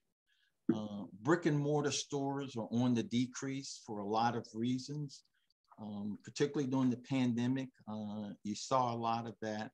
And so the um, use that we believe uh, and the uses being looked at in other areas of the county as well, as well throughout this area is the, um, the type of uh, what we call warehouse distribution that are for um, particularly retailers that do a lot of delivery uh, directly to residents and businesses. So will this be an Amazon warehouse? That's one of the questions. Um, we don't and don't have a user that we can talk about now. There are at least three or four that, um, and, and you keep noticing more and more folks who are uh, getting into online uh, consumer purchases as well as delivery. Um, and so I would tell you that it's, it, it will be of the folks who are doing online purchasing and delivery. All right, and someone had asked a question, where is this located? So I don't know, if you don't know where Rosecroft is, then maybe you know where Sharper's Florist is? On Brinkley Road? And, and, and I'll just sort of say, one of the great things we do think about this property, you can see where a fair amount of the property is already graded out. And again, as I noted, the buffers are on the edges. Uh, and so we think that there's ability to save a lot of that existing buffer um, and, and sort of place the, what is going to be the actual development uh, into a lot of the area that's already been graded out. If you guys have been in this area, you know there are there's um, it's sort of a right where you have the where it says redevelopment, just a little bit above that was sort of the high point that's in there, and, and a lot of it is a low point from there.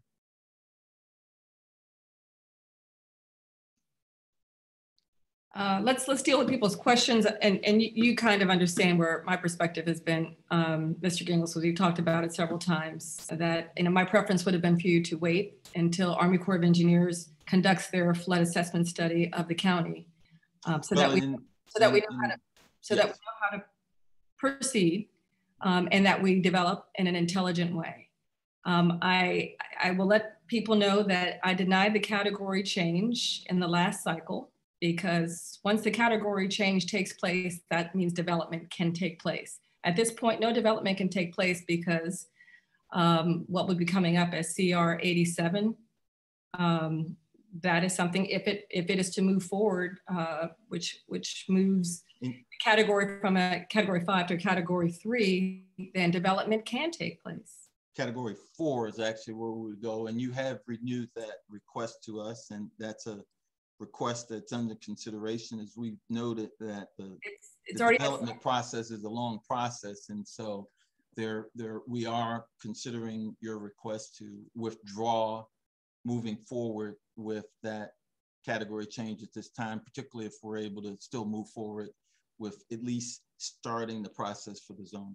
well, you know, the, the, the agreement that I thought we had made was we wanted to go through the Army Corps of Engineers evaluation, and I did not want to ask you not to put in for this category change out of respect for the process that the community wants, and that's needed. Um, so when you put in not only the category change, but also We didn't put one in, by the way, Council. it, it's in. It's No, in. no, I'm, I'm saying we didn't put it in. It's an automatic rollover that you have. Well, We have to, we have to withdraw it at the time of the public hearing. We had a conversation months ago, well before this was put in.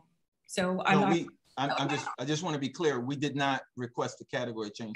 It's and an automatic rollover. and I want to be clear, you and I had a conversation this well before this automatic rollover took place. So let's just, I want to be very um, transparent to the community with how I operate. I'm, I'm very straightforward. Um, I'm respectful of developers because I believe that you all uh, do some wonderful things, but uh, I'm respectful of the community because there's a recognition that we've been hurt as a result of uh, processes moving forward uh, that should not. Um, and so I, I, I just want to, to state that um, this, this bill was put in. Now, typically, when there's something that's going to impact your area, you put the bill in, but this, this bill was put in by, um, by the council chair. But I do want people listening to know that they have an opportunity to participate in the hearings to either determine or argue that they want this because it might be something that they want for the community or that they don't want it.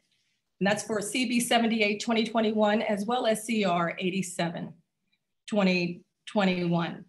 Um, there's a question here from Juliet Walker. Uh, so that means big truck, big rig trucks constantly coming in and going, coming and going, and more carbon emissions permeating the air as a result? Um, so there are deliveries done by the larger trucks, the trucks that tend to leave the site that are delivering or to consumers or businesses are the smaller trucks. Uh, most trucks are starting uh, over a period of time, and particularly the larger retailers that are doing these facilities are moving to electric fleets, frankly.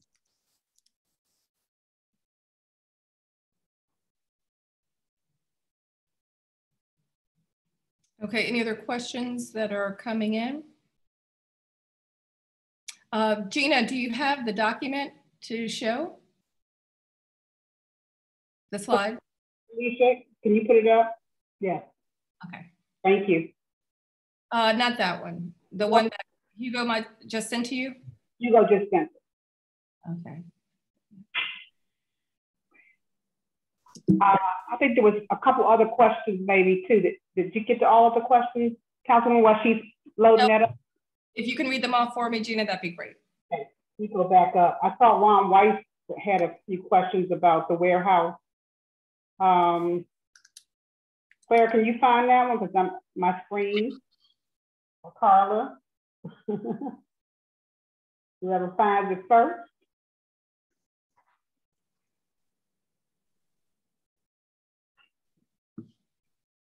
The one before the Amazon one, he was asked. So you propose a solar farm and a warehouse, or is it a warehouse with a solar panel on the roof? Solar farm and a warehouse. And Ron question was trucks will impact, well, statement was trucks will impact the Beltway interchange and will require a major expenditure to accommodate them. There will be, I, I, I couldn't tell you all of the transportation improvements that will be necessary. The majority of them will be along Brinkley Road as Brinkley Road moves from, I'm sorry, just one second.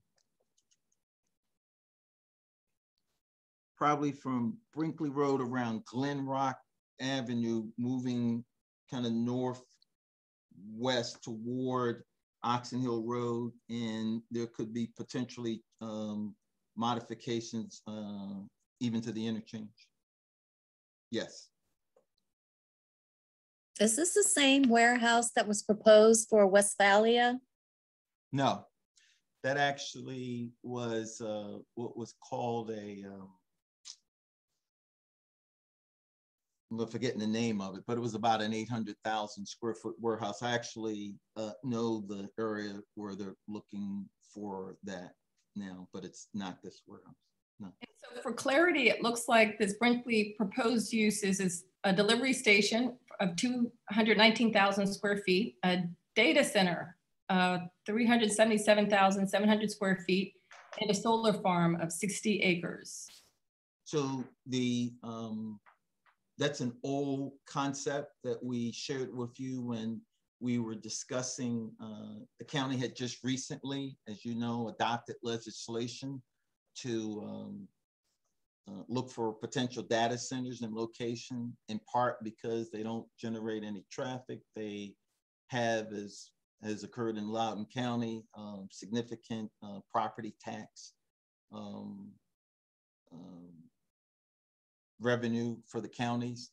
Uh, this area actually doesn't have yet the uh, power infrastructure to allow for data centers. And so uh, that was on the original concept that we showed you when we met with you. That's why I was there. There's one other question, Gina, was yeah. so your so you propose a solar farm and a warehouse, or is it a warehouse with a solar panel on the roof?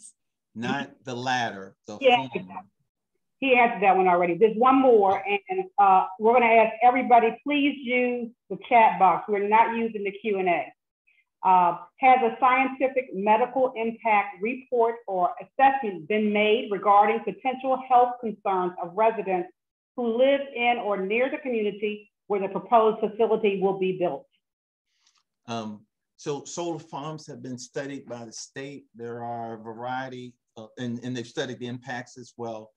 Um, both the state and the county are now uh, doing a, a variety of investment uh, incentives uh, in order to move away from the old power grid of electricity to having more of the electrical and power needs generated by solar. Um, and the studies that have um, sort of gotten both the state and the local governments, and you probably saw within the infrastructure bill uh, being done by now by Congress are some huge incentives, again, to promote the use of solar for the power grid. Um, so the, the, studies have essentially shown no real uh, impact, and uh, it is considered to be the clean energy of the 21st century. And I think there's going to be more and more done. Uh, the, county has over the last 10 years tried to promote uh, the development. To date, because of the expense that's involved, most of them have just been either on the top of buildings or, as I've noted before, uh, parts of parking areas. So, it, and this is just a um, a concept because you don't have any stormwater management um, here, so this must just be a concept, right?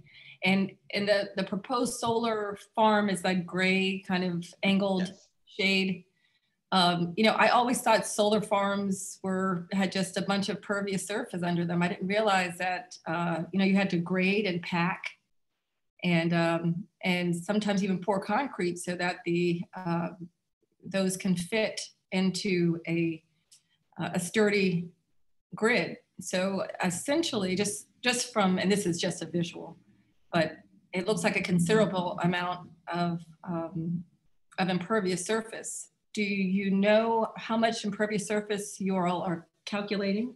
And would you be asking for a waiver to allow for the maximum, uh, to maximize beyond? I wouldn't expect that we would need a waiver, but we haven't moved uh, that far in the concept yet. Mm -hmm. um, there are various ways uh, with regard to the solar farm. We do know that it doesn't pro provide I guess the one thing that we know just from our um, preliminary studies is, is that it's much less of an impact that we would have if we sort of built out a subdivision with the existing zone. but it's, this is RR, so that's what, one house per acre? So yeah, so well, Okay. but we're we're actually master plan as a suburban village so that the density goes up to about 3.7 uh, per acre. And so about 430 under the regular zoning, and it begins to approach uh, 700 if we do the suburban village. And, and that master plan was established like when, and is it, It's the 06. yeah, so that's, you'd have to take a few steps to get to that density. But as it stands, the underlying zoning allows one, 430. uh, the underlying zoning allows 430, is that what you're saying? Correct. Okay, so is this RR or is it? It is RR. Okay, but you're saying because it's master planned? No, no. So RR is 20, that's the uh, 20,000 square foot lots on about 215 acres, which we roughly are. It's about 430. And, and that is, uh, if that's developable, 100% developable area, if any of it, if it is, you know, um, wetlands or floodplain, then it- it's not a developable. Well, you still get that yield because you can cluster and reduce the lot size. Well, that's if, if that's allowed. A cluster is not an automatic. That's, um, that's something that has to go through a process. Um, Uh, okay, but my, well, you know, just my understanding, uh, but okay. But you know, regardless, we're looking at um, impervious surface area. Now, let me ask you this: the the solar farm here, which looks like it's huge, with this whatever is proposed to be, um, where does the energy go? So the energy uh, goes into the grid and Mhm. then is uh, powered, uh, excuse me, then almost any consumer can buy the power, but typically in this instance, our potential users uh, like the idea uh, as they have, they're all looking at moving toward cleaner power sources and having that uh, power there, they would enter into potential contracts for it. Uh, the county's also looking um, to, to, to the potential of entering into the power purchase agreements uh, as other jurisdictions are doing throughout the state of Maryland as a hedge against the increase in uh, power costs over time. So it goes on to the grid um, and it can be purchased by uh, any normal user and consumer of energy.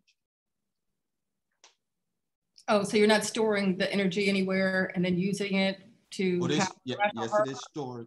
Um, I'm sorry. I'm sorry. Go ahead. I'm sorry. Yeah, it, it is stored and it goes onto the grid, but it's, it's available by, if you have a power purchase agreement, Uh-huh. it, it gets held for whomever has those power purchase agreements. And it's stored on site. Well, it's not, it's not actually stored on site. It's a, it's, it's on the grid, which is out there. Okay, so I'm, I'm not, I mean, I won't tell you that I'm an electrician, but it, it's, it's not like it's sitting there on site. Okay, I'm just asking because there's something else that's going on in that area and we're, we're all trying to figure out if it's all part of the same plan. Um, I know that at one point there was discussion about um, the need for redundancy um, in electricity on the site uh, if you were to have a data center, which is common to have redundancy in case there's a failure of one, that you have your own um, uh, power. Uh, is it a transmitter or what is it called?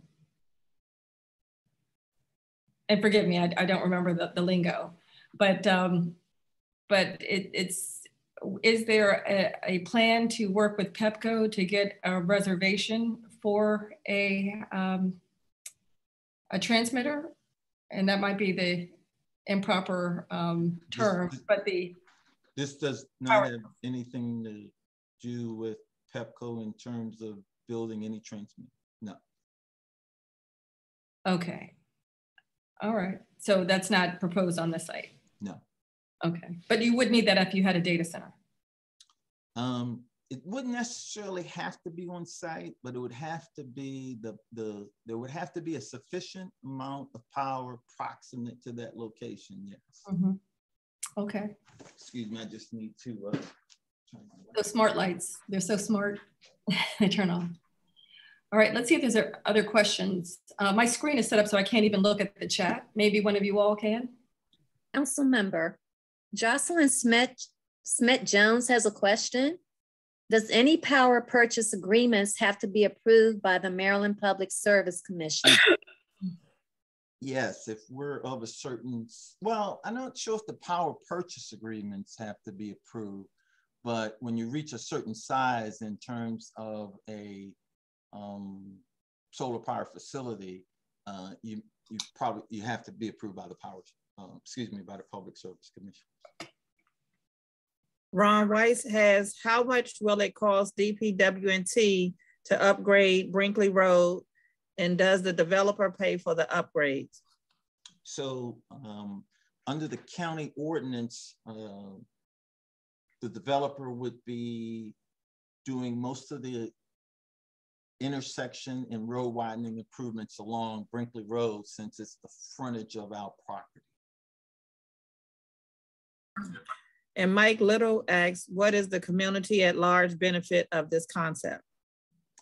So, and I noted um, earlier, we think um, uh, having employment uses as opposed to building more houses benefits the community in terms of putting jobs in the community so that uh, folks are not always going out the community. We think of having employment uses as opposed to more houses reduces the uh, impact on schools and particularly public safety.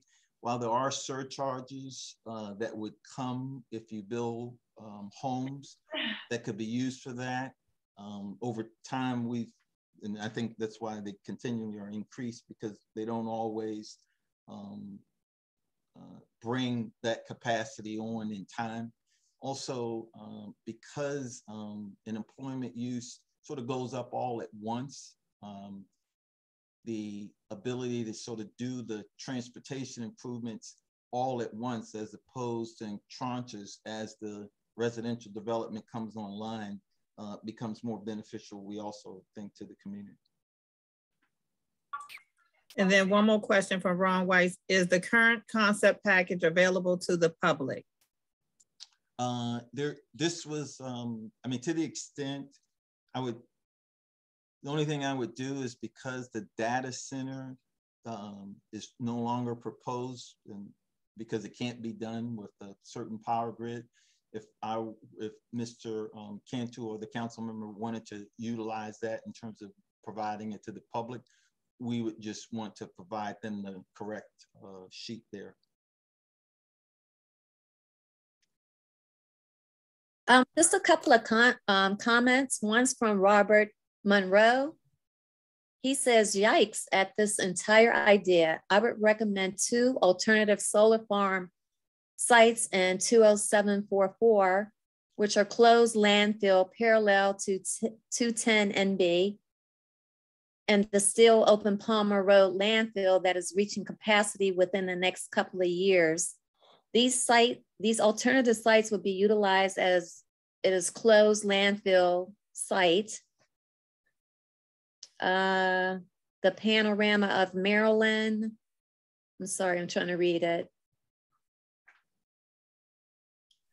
Uh, I think it says that Rosecroft is a beautiful area that should be left unde undeveloped, modernized to what exists, and or very smartly developed.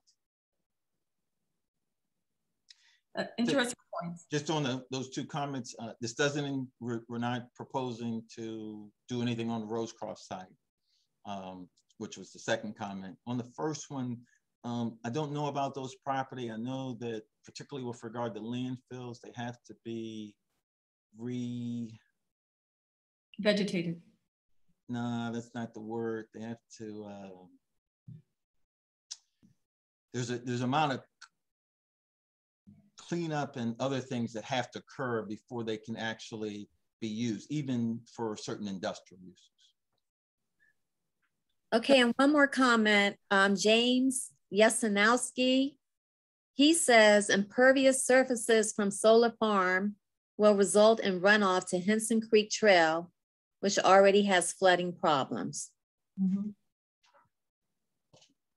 um, we'll, and then Barbara. Our, we do have requirements, uh, both county and state requirements uh, regarding um, how to treat stormwater and runoff Uh, I've been involved in a fair amount of development uh, in the county. Uh, the 2013 uh, changes to the stormwater management um, ordinance at both the state levels and then what the county also implemented in 2017 uh, particularly have been helpful in areas where a lot of the development predates um, stormwater management regulations. And, and, a lot of the problems that are in the southern portion of the county are the result of stormwater management regulations not being in place when a number of those homes were built. One of the things that comes about as a result of the new development, uh, and particularly after the changes in 2013, was the need for new development to essentially um, take into consideration and um, add additional, excuse me, additional systems to address some of the proximate areas to the newly developed properties for which there was no stormwater management. Um, and, and part of that would occur here. Um, Barbara Huffer asks, how will this affect traffic going to Rosecroft Raceway? So I thought it was closed. Council member? Oh, I, I just, is it, pers is it uh, permanently closed or is it uh, oh, I don't know. I, I, okay. Well, I thought it was closed. So I'm not sure what, what we would do to that traffic, but we will have transportation improvements to do along um, uh, that center road that sort of runs through there, as well as Brinkley Road and then various intersections in order to maintain uh, the statutory level of service that's required. And John Oldenburg has a, he just makes a statement, just a guess, but it seems most of the power generated will go to the data center and warehouse, no benefit for the community.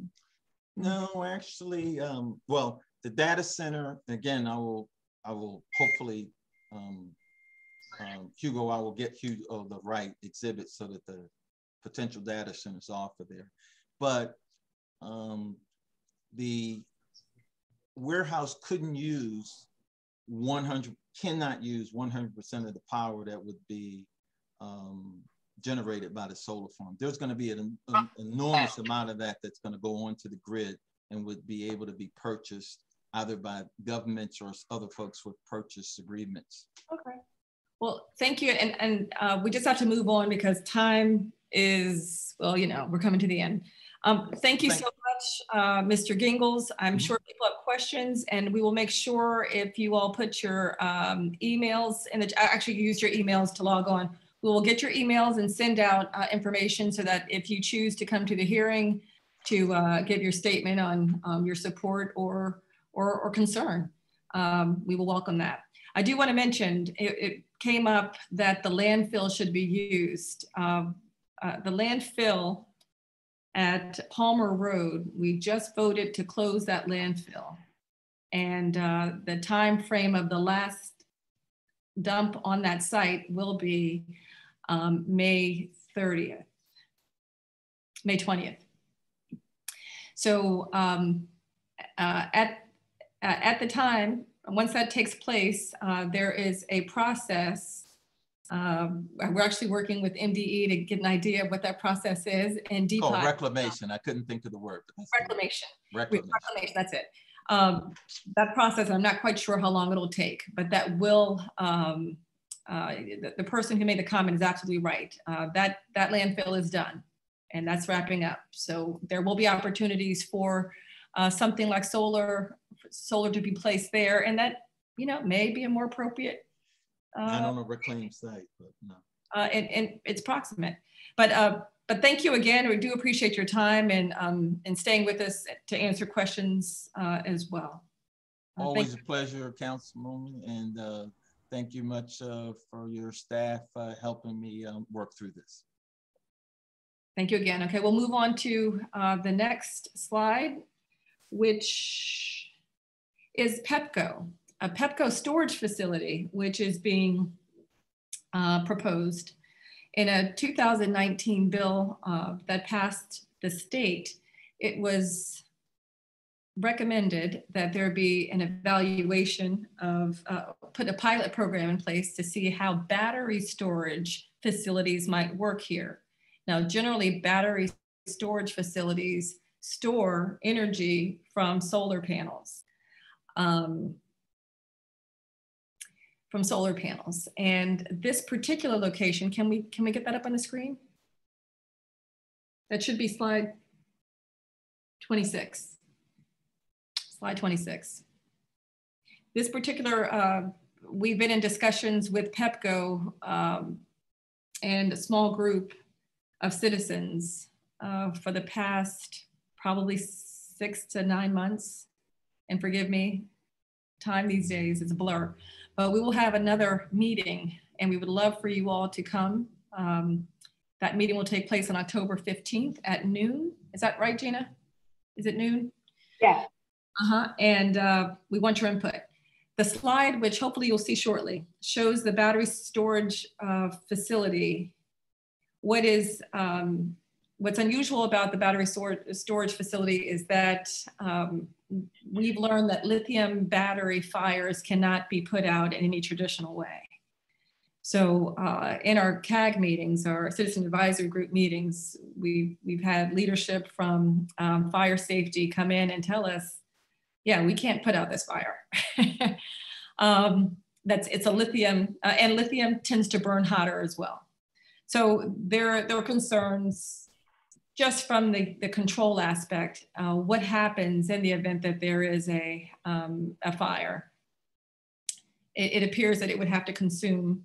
Um, but listen, uh, this is my understanding. Um, I want to invite you all to participate in this uh, citizen advisory group meeting, which will take place on the 15th, and ask questions. Um, what was interesting in, in, listening is that our uh, this is to be built to store energy.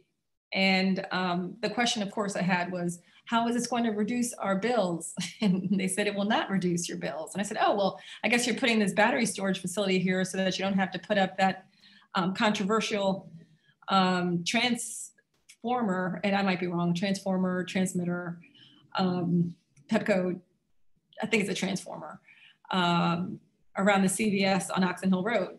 Um, and if you've been following that for years, it's, it's, it's been um, a concern because of um, magnetic, uh, the magnetic um, effect on, on the human body and the proximate uh, location to dense housing. Anyway, so th those were two things that were of interest. Um, the thought was, oh, well, maybe this will take the place. Uh, it's, it's a little bit more insulated.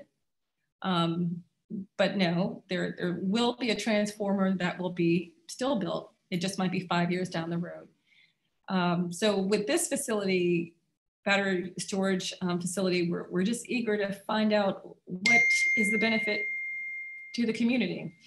Um, the, uh, our representative, uh, Tammy Watkins, has been um, um, very vocal on this, and um, I invite you to participate in finding, uh, getting answers uh, as well, your answers. Don't, I don't want you to be swayed by me, but I do want you to have all the details so you know what's happening in your area and that nothing sneaks up on you.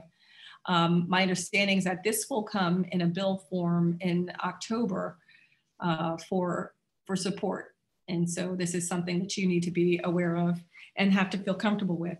If we had zoomed out a little bit, you'd be able to see that um, this is in, um, it backs up, it's on um, excuse me, Livingston Road by St. Columba Church on that same road. Uh, it backs up to Oxon Hill High School and uh, housing, uh, housing community. Uh, so you need to just be aware of it. So this is for awareness. We can move on to the next slide. Sorry, Councilwoman. Uh, One correction, it's 11 a.m., not 12. 11 on October 15th. Thank you and we will collect your emails and send uh, an invite to you so that you have the option if you'd like to join. This gives you a better view of um, the site. So where the, the um, blood orange um, outlined area is, is the, the, proposed area and you can see the housing that's all around it. Um, and uh, it, it's not too far from the site we just, um, we just looked at, FYI. You want to go to the next slide? Okay. At this time, um, Hugo Cantu, who, who is the, excuse me, policy analyst for my office. Council, I'm sorry. We had some questions on PEPCO. Did you want to address those first?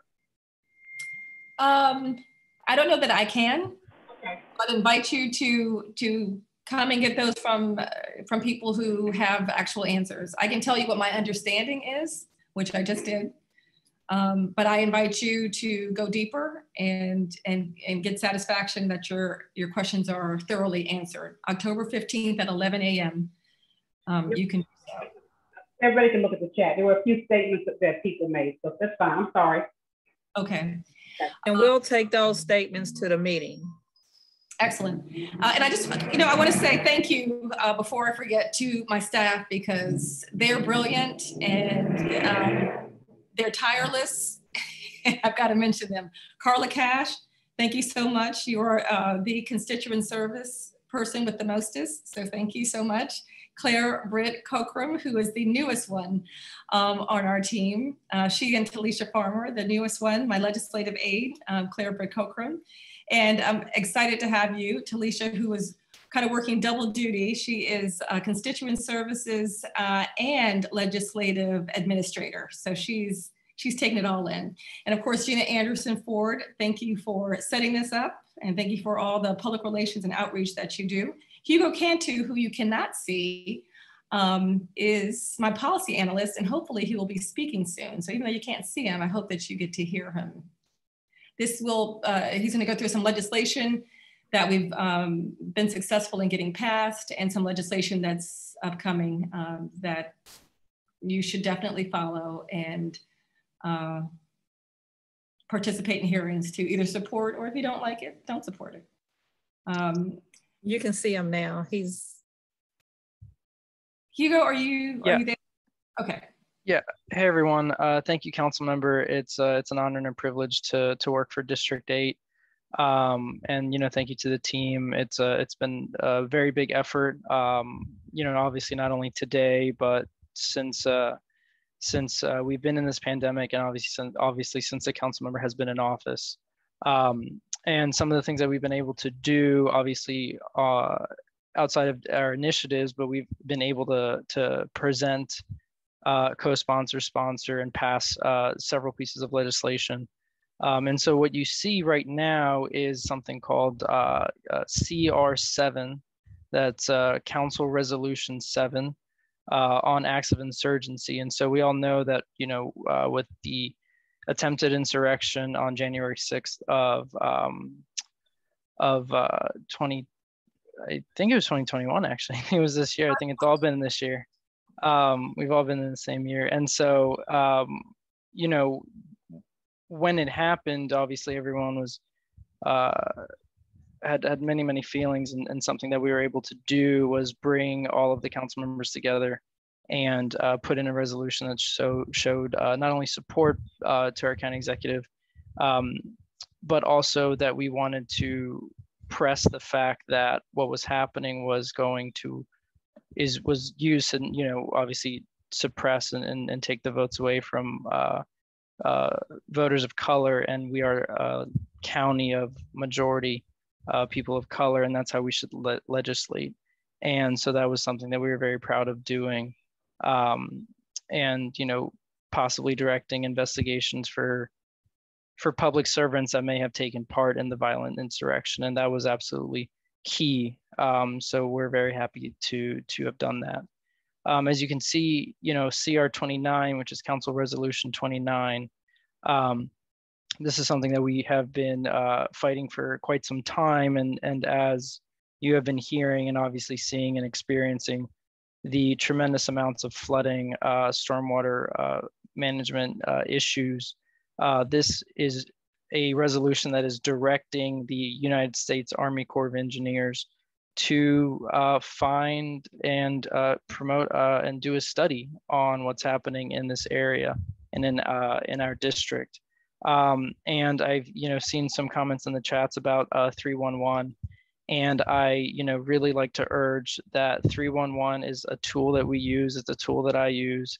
Um, it's a tool that the Department of the Environment uses in referencing, you know, why we need certain things done. And so I, um, I use that tool. I use what we what we find and what is reported.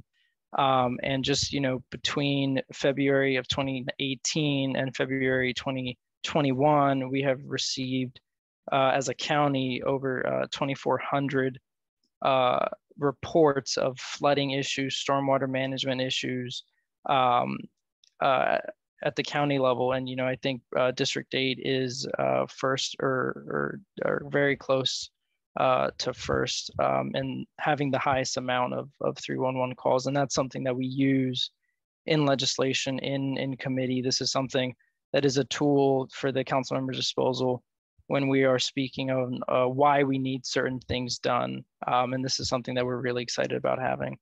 Um, and I can answer any question in the chat. 311 should be called in if there's flooding.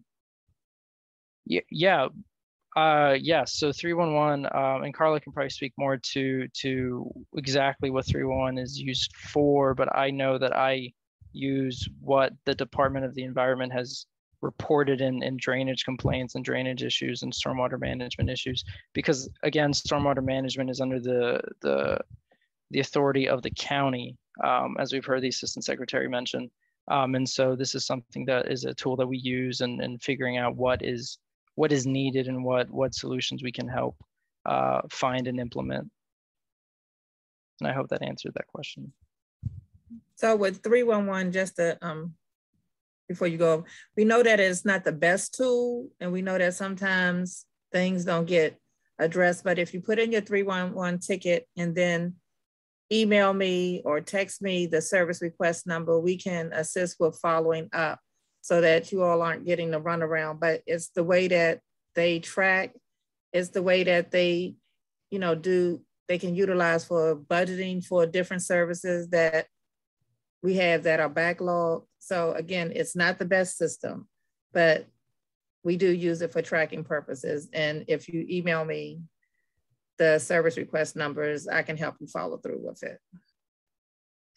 And as you can see that uh, what CR29 does is that it uh, looks to find the vulnerable areas in in the area and in the county. Um, and that's something that as we've heard today, that the uh, Maryland Department of Environment is is uh, something that they're urging all counties to do, and that's and so we were able to you know have this passed uh, prior to prior to uh, the June July recess, um, and so we're working closely with our Army Corps of Engineers and and other agencies and and finding these areas, um, and that way we'll be able to present them to obviously Maryland Department of Environment and have um, have uh, some conclusive solutions.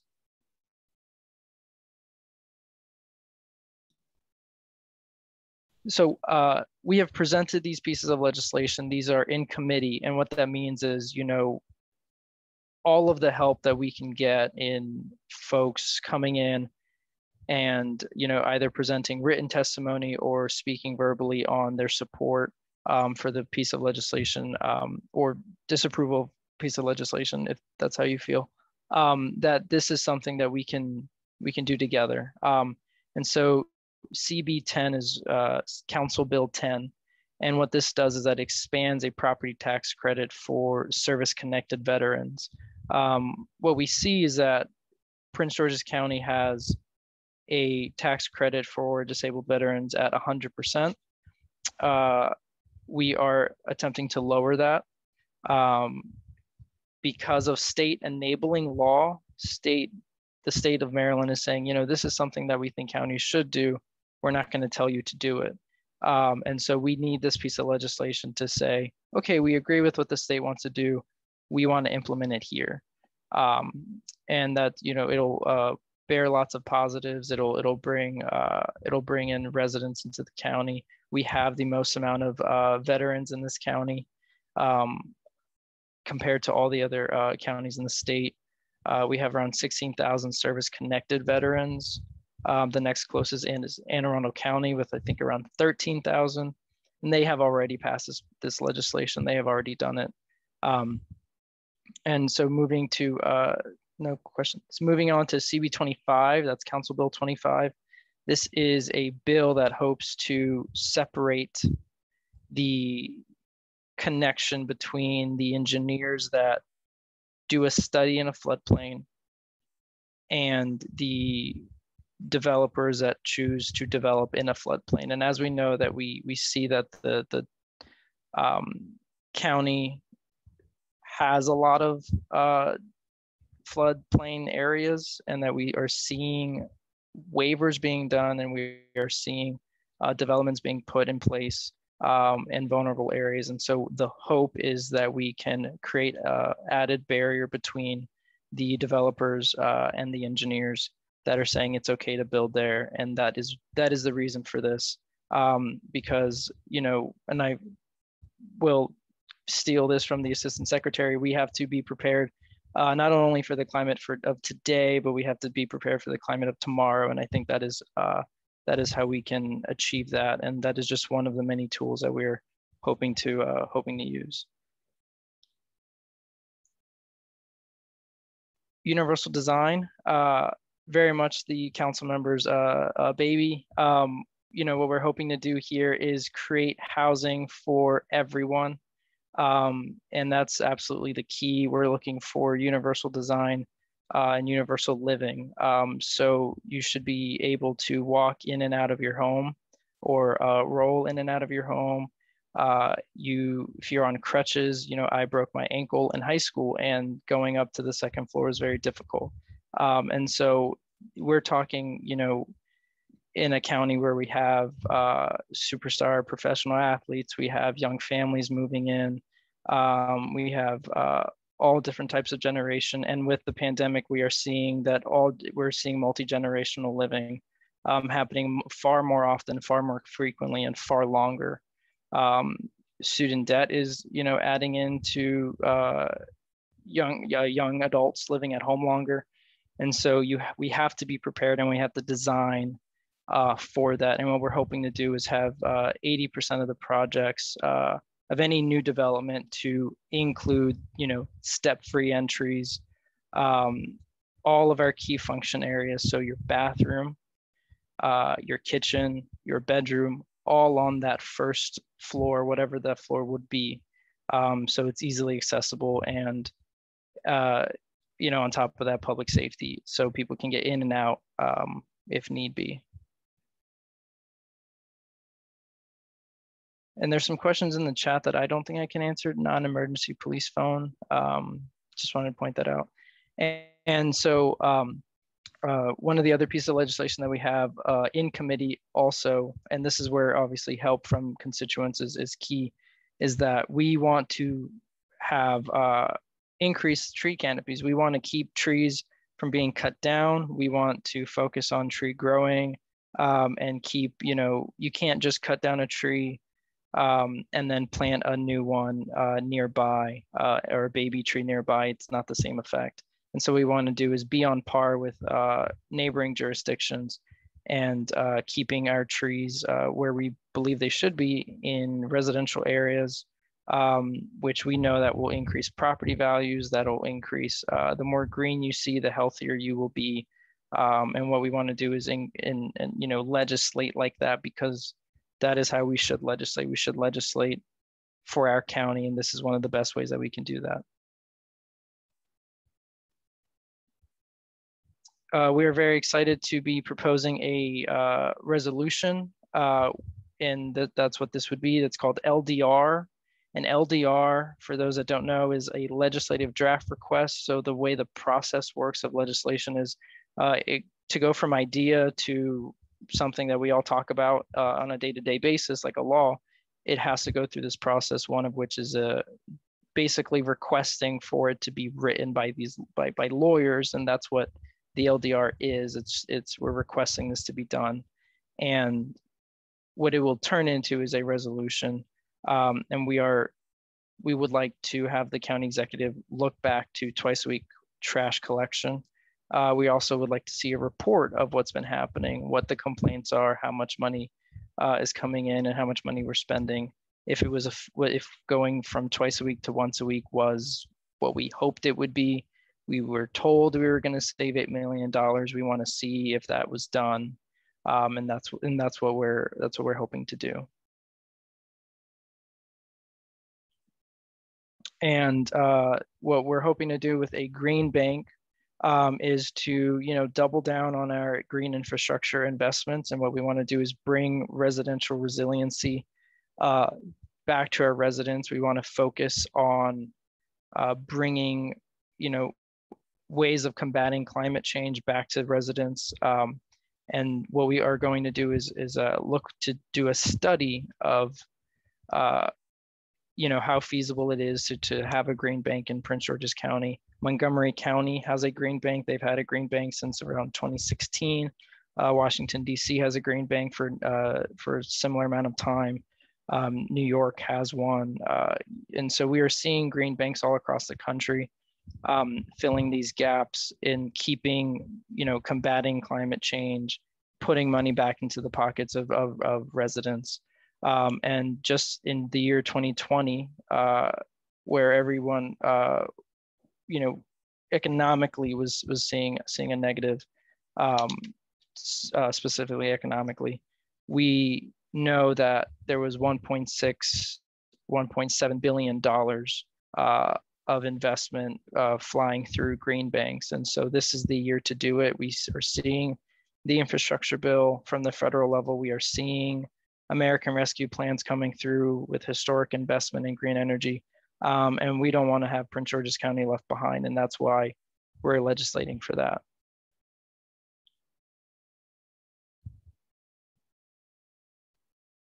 So I will leave it there. I will answer any questions. Would a bulk pickup day be considered in lieu of a second trash pickup?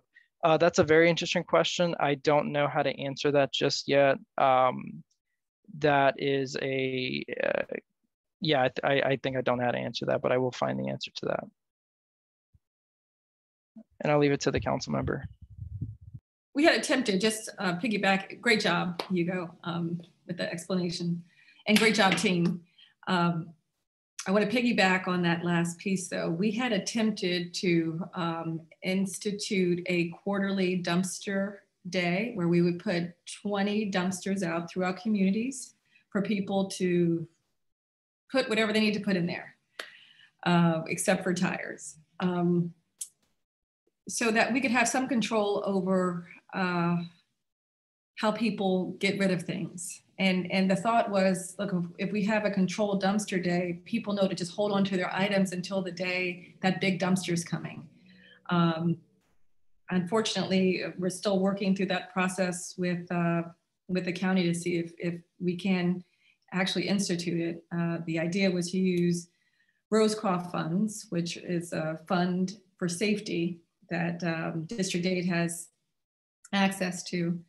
Um, there are some other things that we're looking at as well, and I'll just mention them quickly, and that is um, community gardens, establishing community gardens with those funds, and um, mortgage assistance in the form of no more than $500 a month uh, for people who have owned their homes for over 25 years, that are 62 years of age, um, that have um, uh, that have become challenged. What we're finding is that you know people hit a certain point in their life and health problems kick in. Um, they, they have money they have to spend on, on, on because of health issues.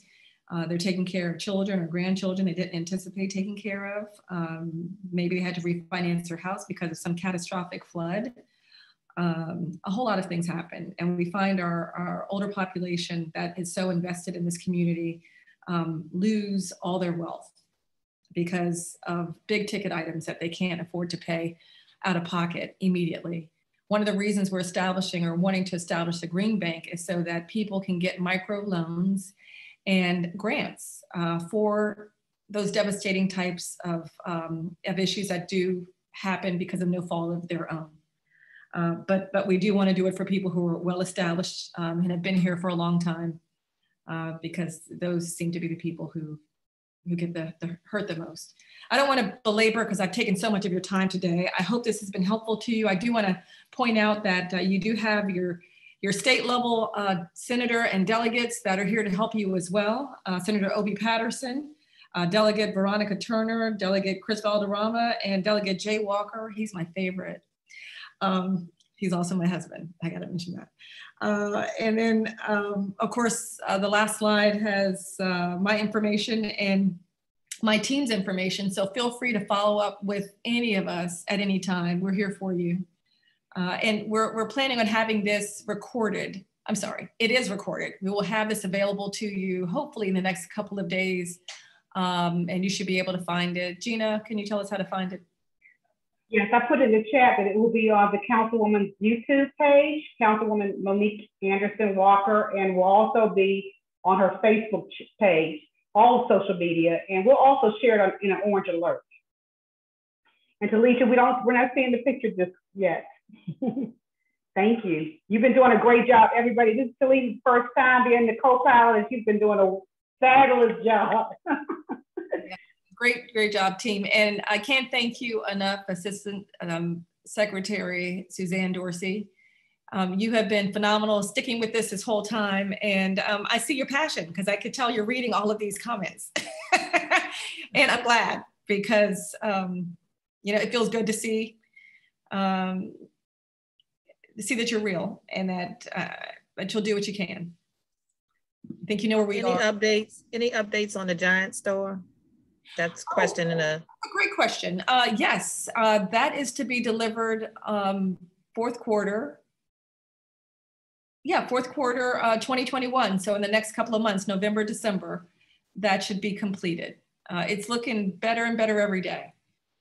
Um, I don't know if there are any other questions. I'll just leave you with this. Uh, I spoke with Maryland Department of Transportation. I'm sorry. Yeah, MDOT, Maryland Department of Transportation today, State Highway Administration, about um, getting a, a, more frequent grass cutting schedule going. I'm sure you've all seen what I've seen, and we want beautification here. And, we want, um, we don't want that neglect. We don't, I shouldn't have to call, no one should have to call to have these things addressed. Want you to know, and I want you to um, keep in touch with us. Let us know what you need. We're here for you. Uh, and again, thank you so much. Uh, Councilwoman, can you just, we just talk about the uh, District 8 bike rodeo too that we're having? If you want to put that flyer up, you may. Uh, yeah, okay. The bike rodeo is uh, this weekend, October 2nd, and it's from 12 to 2 at Bock Road, um, also known as South Tech. Um, we'll have food there, we will have excitement. Um, for those people who do not know how to ride a bike, or maybe they just forgot, although no one forgets how to ride a bike, you just have to get back on it. Um, you will, we will have opportunities to uh, to get some some coaching, and for those who want to go on a bike ride, we'll go on on a ride, an extensive ride too. Um, we have beautiful trails here, and we will be on the trails, so you'll be safe. Okay, and and appreciate. appreciate have a sign up for DH seniors to come and, and sign up for cyclist cycle club. And the councilwoman is going to take families on the bike trail. So it's going to be a fun day, live uh, dancing by our DH senior, seniors. Uh, they're going to do, do some line dancing, but uh, you can go on the trail with the councilwoman because we're starting to try to make sure everybody can get on a bike and ride and be healthy. And it's great weather for it. It's going to be a beautiful day on Saturday. Hope to see you all. Carla, you want to talk about um, October 9th activity? Oh, yes. Um, Major Lair did talk about um, the Faith in Blue. Um, we will be at Eastover. We do, we're doing a, um,